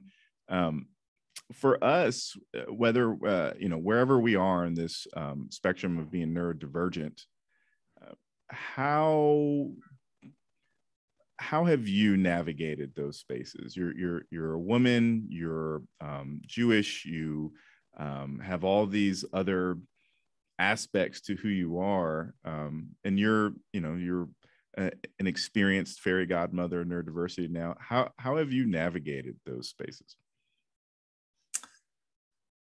well uh, i um i pass a lot and i belong to a lot of different groups um, and there's some often mutually exclusive. Um, it's not easy. It's not it's kind of a bit painful but we don't live in monocultures anymore. So maybe you know i have my um i have my what my autistic groups um, from when i started um uh I started a social, I and a couple of others started a social club for autistic teenagers in Sydney. So I've got the friends that I made there. Um, I've got my, I live in a, I live in public housing, but I've somehow lucked out into a very wealthy area. So a lot of my friends are local middle class, like white people. Um, then I've got my my Jewish friends, um, and like none of my groups really understand those other parts of me. And I don't know whether other people have got that experience. Do you have that experience? And it's it can be it can be painful, you know. It's like I can't talk about race or ethnicity with my white friends. I can't talk about autism with my Jewish friends. I can't talk, you know, like, but that's the world we live in. Um, I, I never really have answers, you know, I just have dilemmas. So, does anybody really have answers though? We're all just on this rock floating around in the abyss trying to figure these things out and I, I don't think any of us have clear defined answers we have our experiences those things that we have learned from other people and we try to disseminate and uh, synthesize that information in a way that we find it meaningful and and sometimes it sometimes it it, it grabs other people as well as your just work not to be habit, just not to be um, habitually negative about everything um, i I just got to say that, you know, it's also enriching to have all these different groups and these different ways of relating. So it's um it's all happening. I don't know. What I hear is that you've navigated this through really a, a form of compartmentalizing different aspects of yourself, different social groups, and you know Morénike and I are both uh, uh, in doctoral programs. You're, you're, you're a little bit closer to being done than I am. I'm trying to get this thing done. Um, but, For real. um, uh, I feel a study coming out of this because I, I my hypothesis would be a lot of neurodivergent folks, um, regardless of race and ethnicity, feel that same way that they are on the outside and that they don't really have a space where they all those groups connect. Uh, and I'm not saying that uh, people who are not neurodivergent, that neurotypical people do not experience this. My guess would be that we experience it to a greater degree. And, um, you know, uh, the more marginalized identities that you have, right? And we're talking about intersectionality, then um, you probably experience it to a greater degree because I have a very diverse group of friends. I have friends who, you know, doctors, lawyers, scholars. I have friends who um, still are in the streets doing other things who I love. Um, and I have friends who are professional athletes. I have friends who, and, and we don't, and neurotypical, neurodiverse, and we just, a lot of those groups don't interact. I am the common denominator. Um, and for code switching, I probably sound a little different in some of those groups, um, especially if those groups are not racially or ethnically similar. Um, to me, it's going to, be. Well, I'd like to say something about that. Um, and just that um, one of the things about uh, neurodiversity, different kind, I think ethnic or racial diversity are kind of vertical, you know, like they divide people into, you know, this, this, and this, but neurodiversity is global, it cuts right across. And so therefore we have a common language that we can relate to in this group. So it's kind of like um, the fabric of society has got these horizontal elements and these vertical elements, and we're creating this amazing fabric somehow that might will maybe unite the world in ways we it's probably not going to happen in the next millennium, but you know, it could be a start. So for all of us, how has neuro, I'm sorry, Morénike, how, how, um, go ahead, say what you're going to say. No, no, I was just going to say, Judy, I just thank you for mentioning that. Um, and I'm, if we have time, there's some thoughts that that kind of actually generated for me about how I feel like theoretically that's the way it works, but I feel like it, in, in a sense, some of that shared experience has um, resulted in, in some other aspects of identity kind of being lost, you know, mm. as a result. But I, but I don't want us to lose the the um, the train of the conversation. That is I I think I know where you're going with that, and I and I I, I agree. Um, so let, let let's let, us let us build on that, Morénike, because what I was I I love Judy said that in two of our conversations mm-hmm. um, that um, these you know um, other socio-political identities at times, especially like race, which is real and not real at the same time, because it is mm-hmm. not biological. Race is a social construct, and I don't have mm-hmm. time to break all that down for those who don't know, but you can Google it. There's many videos and documentaries indicating that. So, like, uh, what that means is Judy and I, Magnus and I, Amy and I could have more biologically in common than mm-hmm. Morénike and I. Mm-hmm. And that, uh, uh, anyway, so um, ethnicity is a, a, biological thing determined upon our um, origins of folks that we are descended from. And so that those can be vertical, but that neurodiversity is this horizontal thing. And I, I do find a lot of solidarity, but there is also aspects of um, some identities getting lost at points in time. So why don't all of us, um, let's go Amy, Magnus, Morénike, talk about how neurodiversity has been unifying for you, but also any other areas that you might wish that it was more unifying. Let's let's go there. Oh, that's a hard question. Um, it has been unifying for me. Yeah, gosh, I can answer the first part. So, um, you know, at meeting people like Magnus, for me, this has been a pretty short journey. I've been autistic obviously my whole life, but I didn't know till my late 30s. and so immediately I started seeking out my people, like where where are my people? And it took many years to find even one person that was similar, um, and that was Magnus. And, and it was through some other friends. It was interesting. I think building that community is crazy important. What was the second part of your question? I'm sorry. Unity, and then areas where maybe you wish there was more unity, and in the area, and it might not be yeah. like that for you. It's okay. Yeah, pass. What about Magnus? I don't know how to answer that. Sure. I, I, I definitely have some opinions and experiences on this.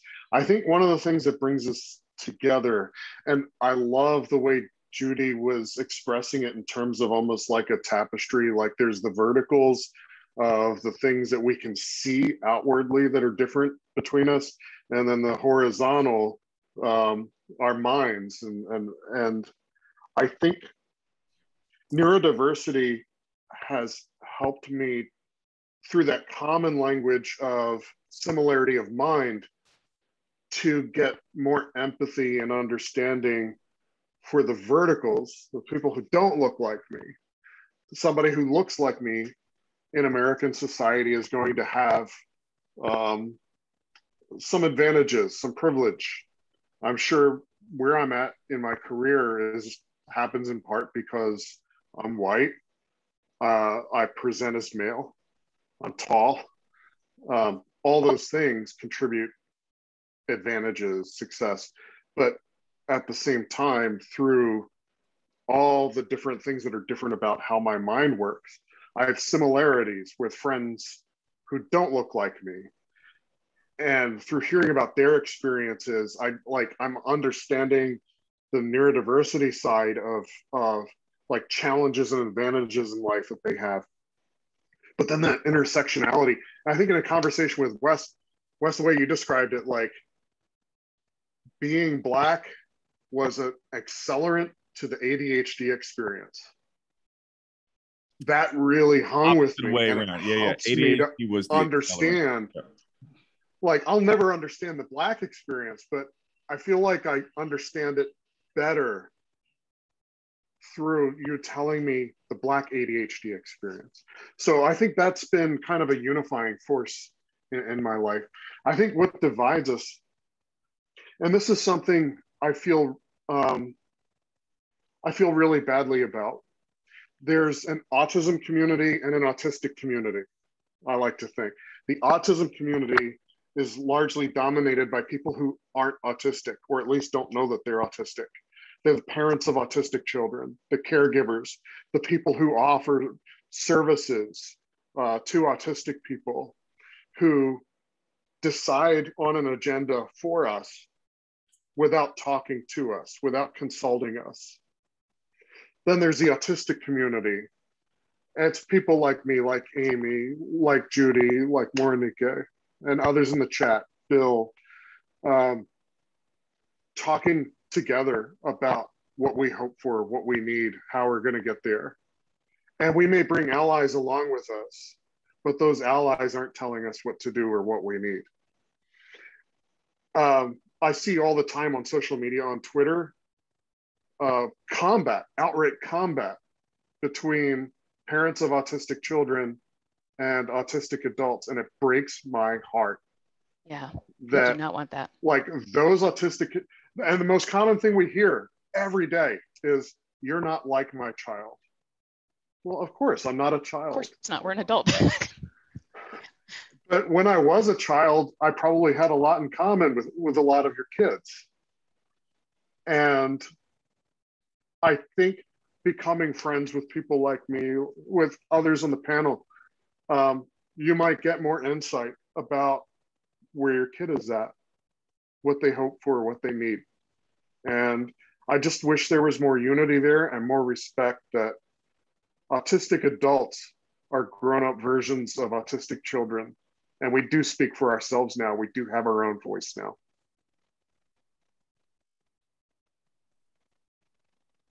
It's okay. Chew your food. You can take a moment, Renika. I'm like, really? I have to follow that, really? Magnus, you're so wrong.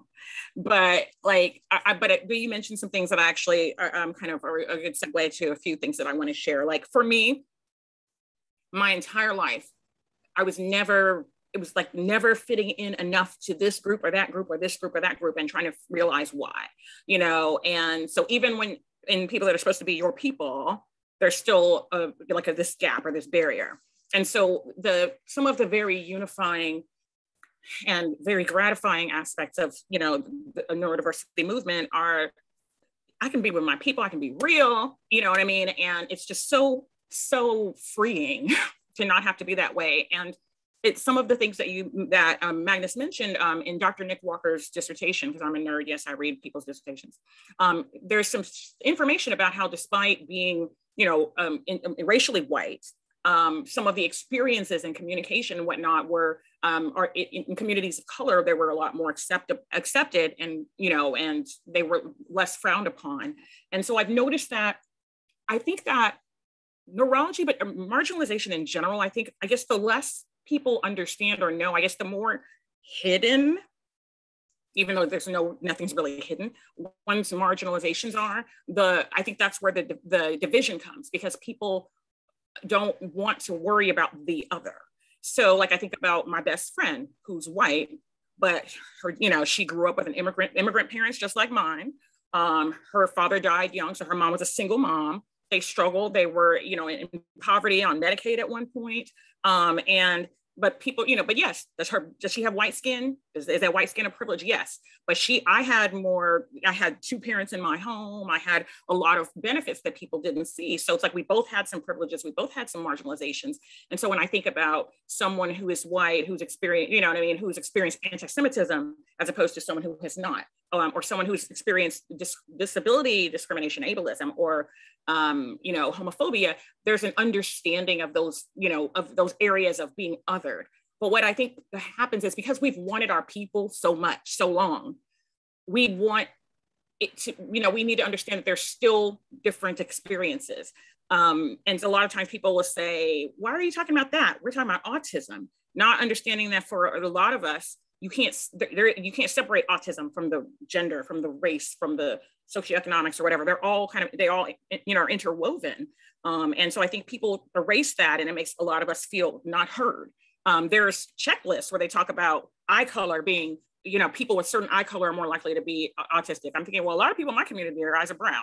I mean, there's some um, variation, but not a whole lot. So are we just not autistic because we're not, you know, like there's just a lot of erasure. There's a lot of assumptions that don't um, meet everyone's expectations. And then the same thing with the parents and the, the autistic um, parent. And it, it frustrates me so much because I feel like it erases the fact that there's a lot of neurodivergent parents. They may not be autistic, but I feel like this this division, this divide um, erases the experience of those of us who've been a child and are also bringing children up into this world it it um it causes us to be you know okay we just are we just this one element of our personality? You're just an autistic adult so i don't want to hear anything else that you have to say about parenting or about education or about culture or about anything. You don't know you know and it's just very very frustrating and very um very minimizing.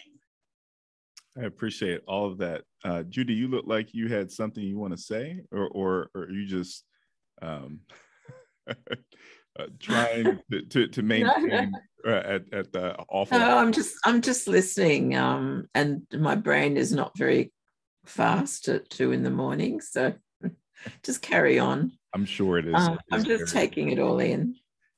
So I I I when I hear this part of the conversation, it is very important to me as um, uh, a mental health counselor. And this is when I put on my mental health hat. And I'm not doing counseling here. This is no substitute for therapy, y'all. So, um, there's a lot of pain and there's a lot of hurt, right? And when we have, uh, I'm gonna say like multicultural movements, the most marginalized voices tend to get silenced in um, multicultural movements. And that can cause a lot of friction and division with these groups of people who have experienced heightened levels of marginalization. And you can even have groups within those groups that splinter off that don't want anything to do with anyone else because they are hurt by this. And these, all of these are expressions of hurt that people have had. Um, parents who are neurotypical or neurodivergent, right? Um, but really kind of talking about these neurotypical, probably neurotypical, maybe not parents um, with this the autism versus autistic community specifically. Um, it doesn't mean that parents don't have their own issues that they're working out. People hold on to a lot of expectations, and um, as a mental health counselor, I can tell you that uh, when parents uh, when people become parents, those expectations um, start taking a whole new uh, form in their lives because that person that they are raising is usually not going to be anywhere close to those expectations. Doesn't mean they're not going to be great. They're just usually very different from those expectations. And that's hard for a lot of people to deal with.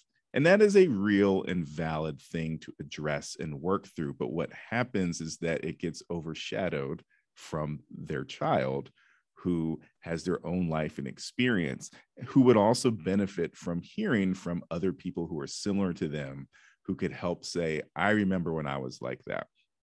I'm ADHD. I definitely have a undiagnosed learning disability. I'm, again, I'm a clinician. I can diagnose people. I know what the DSM says. I, I meet the criteria. Um, pretty much everyone in my family, um, extended and immediate, is at least ADHD, and, and um, a few of us have diagnosed and very clear undiagnosed learning disabilities. And um, and I'm a parent.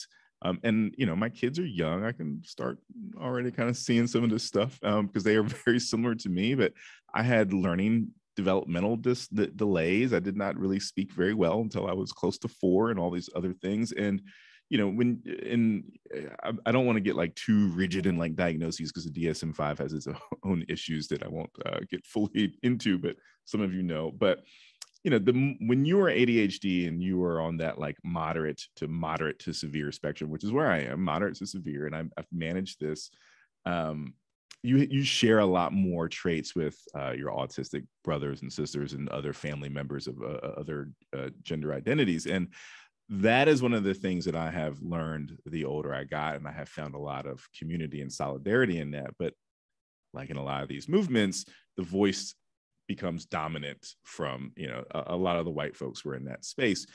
So what I am always trying to push is how can we increase the volume on the most marginalized voices while recognizing everyone's humanity and everyone's piece to this I do see neurodiversity as something that is horizontal. I do see it as something that is unifying. It is a, um, a theoretical framework because it's three components that um, reaches everyone. It's not just for neurodivergent folks. It is also for our neurotypical fam. Okay, like y'all are part of this. And when we understand that concept and we travel through the ambiguity of um, the messiness of a social justice movement, it creates space and understanding. But again, understanding when we all validate each other's humanity, right? And I and I feel that that is, you know, if it was an easy place to get to, um, we wouldn't have all these social justice movements, right? There's there's a it, this is hard. Um, so Judy, from your from your wisdom, you are um, are you 73? Is that correct? 70. 70. I, I apologize. Just the youngster. I apologize. Um, your wisdom, right? Um, and I don't remember if it was in that one, but I intentionally push the envelope a little bit because I work with many people in the autism and autistic community and the neurodivergent community. And, and, these people have been great. They've been helpful.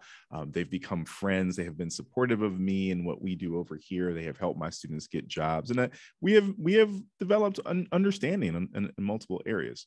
So from Judy, from your perspective as someone who is a um, uh, uh, defiant, habitually defiant, however you want to, however you want to frame that, but is also has the the wisdom and a life experience of someone who is well traveled, who is 70, who has seen a lot. What are some of the ways that people can help to increase the level of unification in something like neurodiversity without silencing voices that need to be heard? All right. Just a light question for you. I know. oh dear. Um, you know, it's just a slowly evolving process, is, is my first thought. You know, Rome wasn't built in a day, two steps forward, one step back.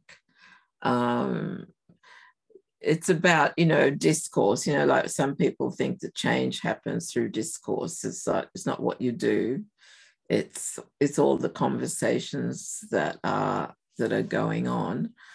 Um, and then you know within it's it's it's human nature to polarize. This is anthrop 101 um, whenever there's scarcity uh, or you say the tribe gets too big, there's not enough resources, people start to polarize for whatever reason.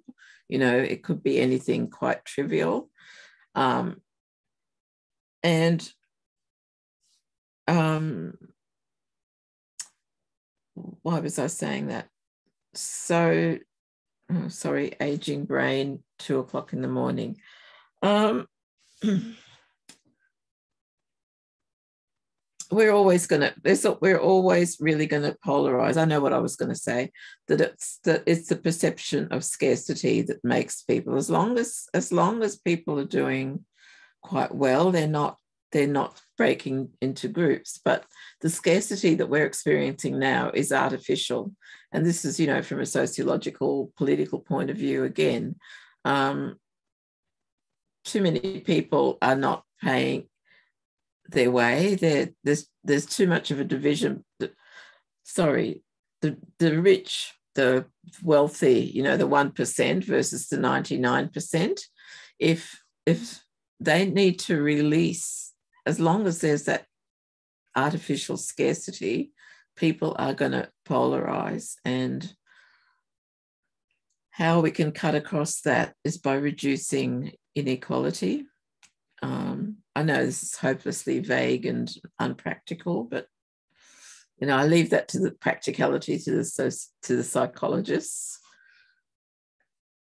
how to get along. And there are divisions within the neurodivergent committee community. You know, there's that polarization happening there as well. Um, you know, there's is you know there are questions like is autism a thing at all, or is it just a conglomeration of traits? Is that going to disappear over time? Because that again is a divisive sort of label. Um, there's a lot of there's a movement to, in terms of the labels. Why do we need them? Partly because of the welfare systems that require labels. We're a label-based welfare system, so you have to prove that you've got this disability and then cling to it. Whereas if we move to a needs-based uh, education system, welfare system, um, then you could drop these kind of mono, what's the word, monoculture sort of identities. But anyway, I'm getting ahead of myself because we do need these labels at this stage. So they're just some random ramblings at two in the morning. your, your, your random ramblings are, are, are very um, welcomed. So just we have uh, about roughly about 10 minutes. We started late, and so I, I, I appreciate um, all of this. Um, what uh, just to like uh, pivot the conversation here a little bit in terms of like just trying to bring it back to like the work aspect and like being in a workplace and in a work environment and um someone had in the chat I saw earlier about like this whole is this like a fad thing or stuff like this? And uh, uh, uh, just a real quick point on that. I sometimes I, I, don't know what it's like in Australia Judy maybe this is something that's common over there but I know in the US people get really obsessed with like people who are abusing the system right? Whether it is uh, statistically relevant or not and it, almost always it is not statistically relevant. And I think that is the same dynamic of like is you know people claiming autism or adhd or whatever as a fad is uh, i'm sure that there are some people who do that but i would say it's statistically irrelevant because it's probably less than like 3% of people who are doing something like that. And this is an assumption on my end based on other things that i think are similar. In the workplace though right we are still managing ourselves and who we are. Um, the, the whether or not we are fully acknowledging our whole selves, we still bring our whole selves everywhere we go. When we're in these workplaces, whether interviews, whether working with teams uh, in person or virtually, what are some of the things that um, all of you do to help manage yourself in these spaces? And Judy, this includes you as well. And so we'll go um, uh, Magnus, Amy, Morénike, Judy.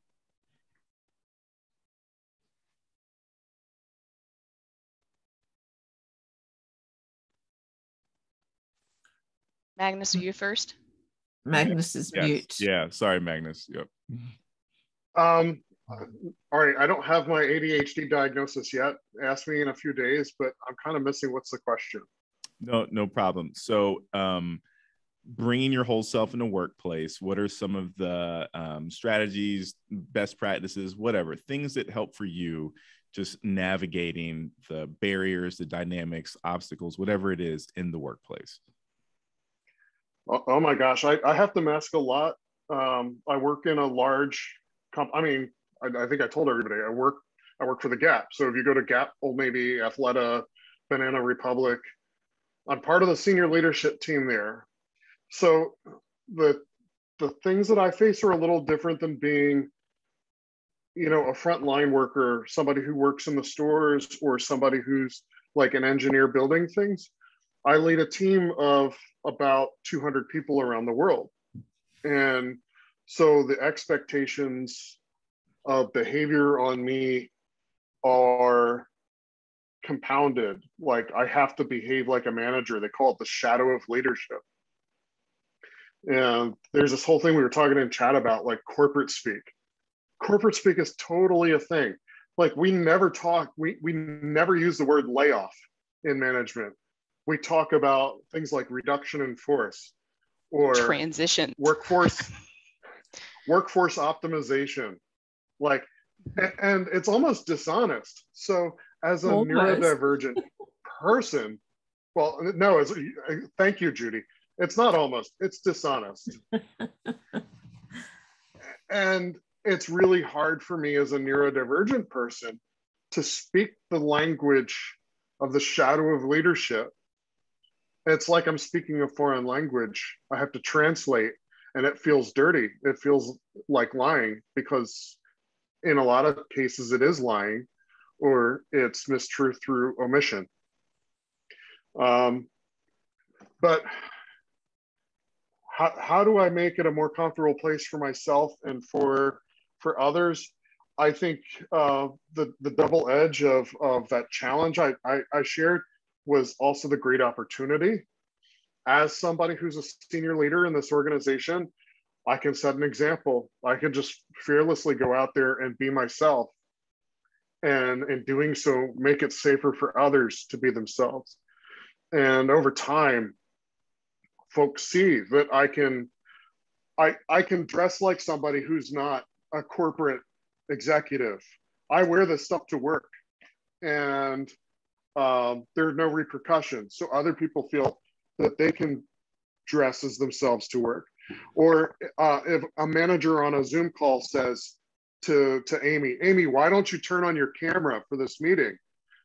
As a leader, I can very quickly jump in and say, we don't need a camera. If somebody doesn't want to have their camera on, it's it's it's okay for them to not have their camera on. Um, I do put my camera on a lot, and you've seen me walking around openly stimming.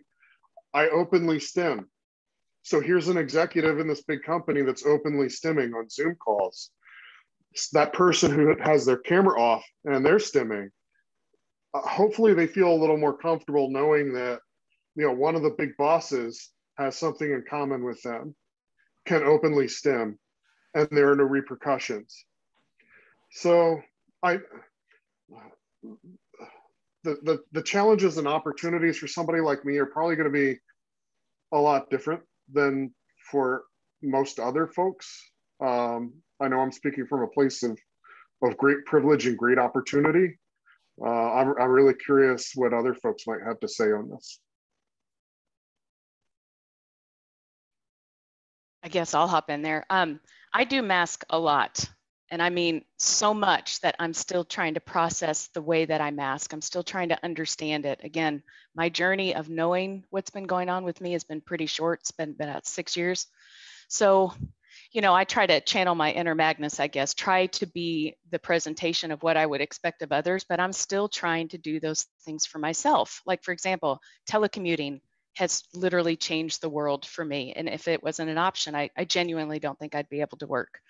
Um, and so, you know, autonomy over my calendar, I, I have to have that. So I know if I'm out of spoons, if you don't know what that term means, there, there are times where, you know, spending eight hours back to back of multiple calls, you know, task switching has been so hard. I'm out of spoons sometimes by midday. And so just normalizing that by saying, I have to take a break, or I might not come back until tomorrow morning to finish my job because I'm incapable. So I, I have to advocate for myself like that. Um, that that cont that context switching or task switching is very difficult. So I really try to block my days and do larger chunks of work instead of 800 things. I do like five. Um, the biggest thing for me is unspoken rules and expectations. That that has been very I mean, if you think about it, it, it would almost be like me as um, an English speaker going to a completely different country, never experiencing their culture, not knowing how people communicate and experiencing everything new. But that's what it feels like as an autistic person in every situation you go into that you don't know. And so I have to assess the people, the culture, the modes of communication, every situation I go to. And that's a lot of effort. Um, and so I, I try to like let people know how difficult that can be. And if we could write down or verbalize expectations, that helps a lot. Was it Judy and then me? Sorry, I never remember the order. It is? I okay, it's so you, because I haven't thought of anything yet.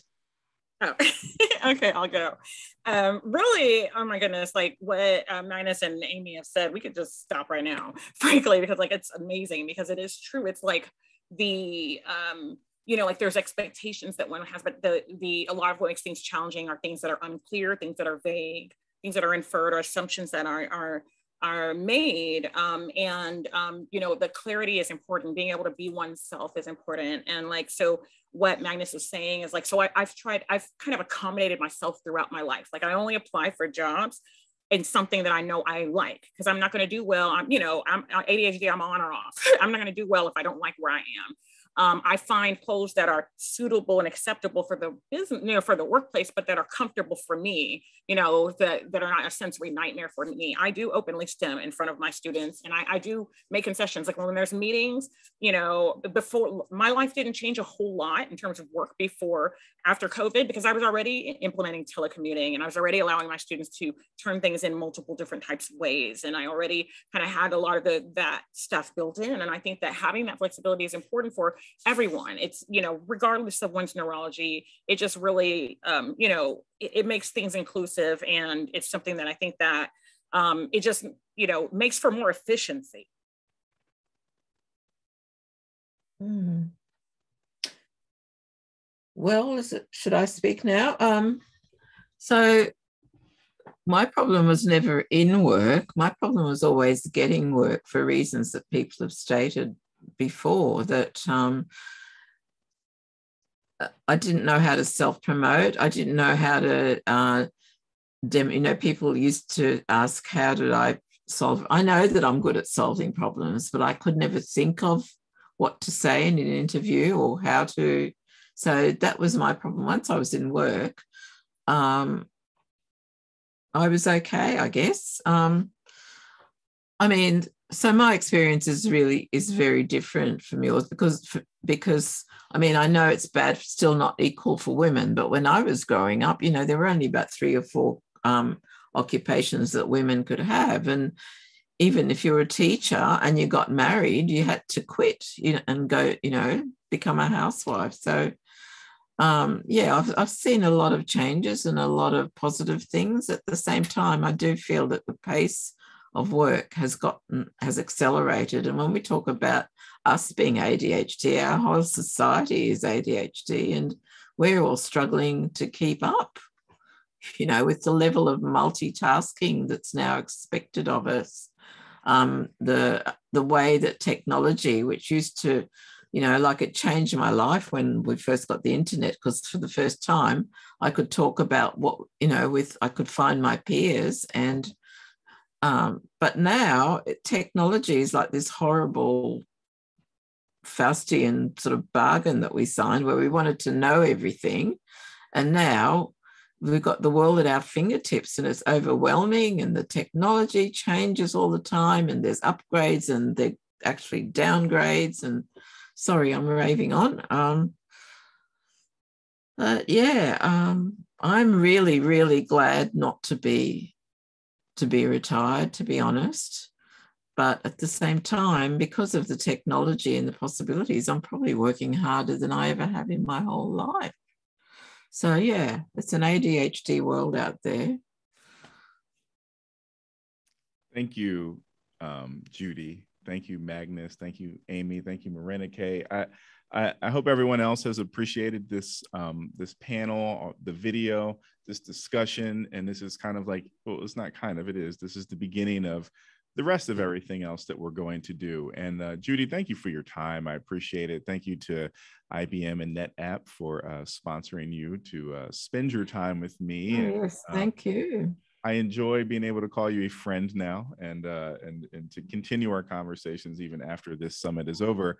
Um, I do. Uh, I am going to end on a question for this. I'm, I'm, gonna put it up on the screen, and I'm gonna get in. Um, in full disclosure, I don't have the, uh, the, the the paid version of this. I have the free version, so it'll only, it'll only take 40. Um, oh, did I freeze? Uh oh. No, um, well, it looks like you can hear me, but uh, the screen on my end. It says you're screen sharing, but then we couldn't see the, but right, but there's There it we says go. double click. There we Yeah. go. Okay.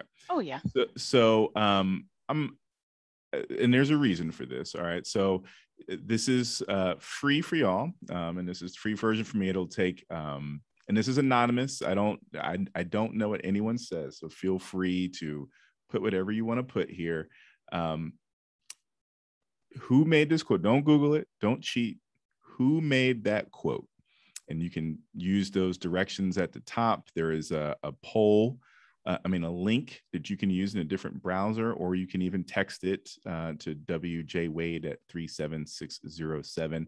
This is a thing called Poll Everywhere I like because you can do some anonymous uh, questions and pollings. It's very good for classes to help them get some more um, honest answers to things. So while you put your answers in here for this last question, um, and I, again, I just want to continue to thank everybody uh, because this is the beginning of this year's summit. And um, while this is a career summit, we're going to talk about aspects of career, and we're mainly focused on our um, autistic students here, as well as alumni and job seekers. Um, this is only one small part of this whole conversation, just one small part. Um, there are other people within the autism community, the autistic community, who need acknowledgement as well, right? Uh, um, I, I, work at a university, so I am working with university students, but that, that is not all, right? Um, and hopefully this grows. so I put my name. That's hilarious. Wesley Wade. I did not say that. I promise you, it was not me. Um, That's great. And so this is something that uh, I hope it grows and it grows uh, uh, beyond just uh, college students as well. Um, and so for the uh, the theme for the rest of this is you know it's about work it's about being your authentic self it's about hearing from people who are autistic and on the autism spectrum to talk about their experiences and how they navigate, getting to hear from some employers and getting opportunities. So there is a job fair, career fair that starts at um, 3.30 today and goes to uh, 5.30. Uh, we have schedules that are on there now for uh, 16 or 17 different employers. There is a, a, high school program for Wake County students. If you're here in North Carolina and you're a high school student and you have a disability, uh, you can register for the Catalyst program, which is a STEM program in Wake County. Um, and we're going to talk about a lot of different things, but the, the, the underlying theme here is authenticity and who we are and how to understand um, so put how to understand um, uh, neurodiversity as a point of unity, but while respecting everyone's humanity and the voices that get silenced and marginalized the most within that. Um, and so I will move to the answer to this question because my point for this is people are misunderstood. We don't know someone's story, but we think we know someone's story, but we really don't. And when we really understand who someone is, when we understand them, then we can decide if we're going to agree or disagree. I love doing this because usually everyone says Martin Luther King Jr. Guess what? It wasn't. It wasn't Martin Luther King. If my, come on, come on, slide. Oh, you're still in my thunder. Slide, move. it was Malcolm X, y'all. Malcolm X. And people don't think Malcolm X said things like this because when we talk about Malcolm X, we really only talk about like the few years of his life when he was with the Nation of Islam. He left the Nation of Islam, which is not really synonymous with um, the the religion of Islam. This is a, a kind of a different thing. Um, and if you read his autobiography at the end of the book, he was like, "I want all people. I stand for justice for all people." And his life is a very interesting life because he talks about all these different facets of growing up poor and black in Georgia and not even realizing all these racist systems that were upon him. And when he realized that, it was like he felt the PTSD all at once and he left and he became Detroit Red and he did a bunch of things that put him in jail and almost killed him. And then he ended up in prison, and that is where he found uh, the Malcolm X that we typically know. But there's more to his life, his short life after that. His life was about unity at the end of life. He he realized that there was many mistakes, a lot of misogynism, a lot of other aspects in his life that he wasn't proud of. And when we understand someone's story, when we take the time to understand someone's story, then we can decide if we agree or disagree. Then we can decide what we are going to do to remove our own barriers to help. And that is what this is really about. So thank y'all. This is the end of the first session here. We're going to come back at 1.30 and we're going to have a, uh, a quick uh, less than three minute video about the Linkit internship program. And then we're, which is a great program for students on autism spectrum here in NC State, paid internship programs, degree related opportunities. And then we are going to have some uh, recent graduates and current students who have some great internships. And we're going to talk to them and they're going to talk about their experiences and all the great things that they're doing. And then it's the career fair. And then we'll see you back tomorrow. So thank you for coming out. Thank you Um, Magnus, thank you. Amy, thank you. Morénike. Morénike will also be in the parent and guardian session, which will start at 1.30 in a, in a different Zoom space. Um, uh, in addition with uh, doctors Nicole Anthony and Dr. Jamie Pearson. And um, last but not least, thank you very much, Judy. I appreciate it. And we all Thank you. Thank you. It was wonderful. Okay. Really appreciate Bye. this. See everybody soon. Bye. Thank you.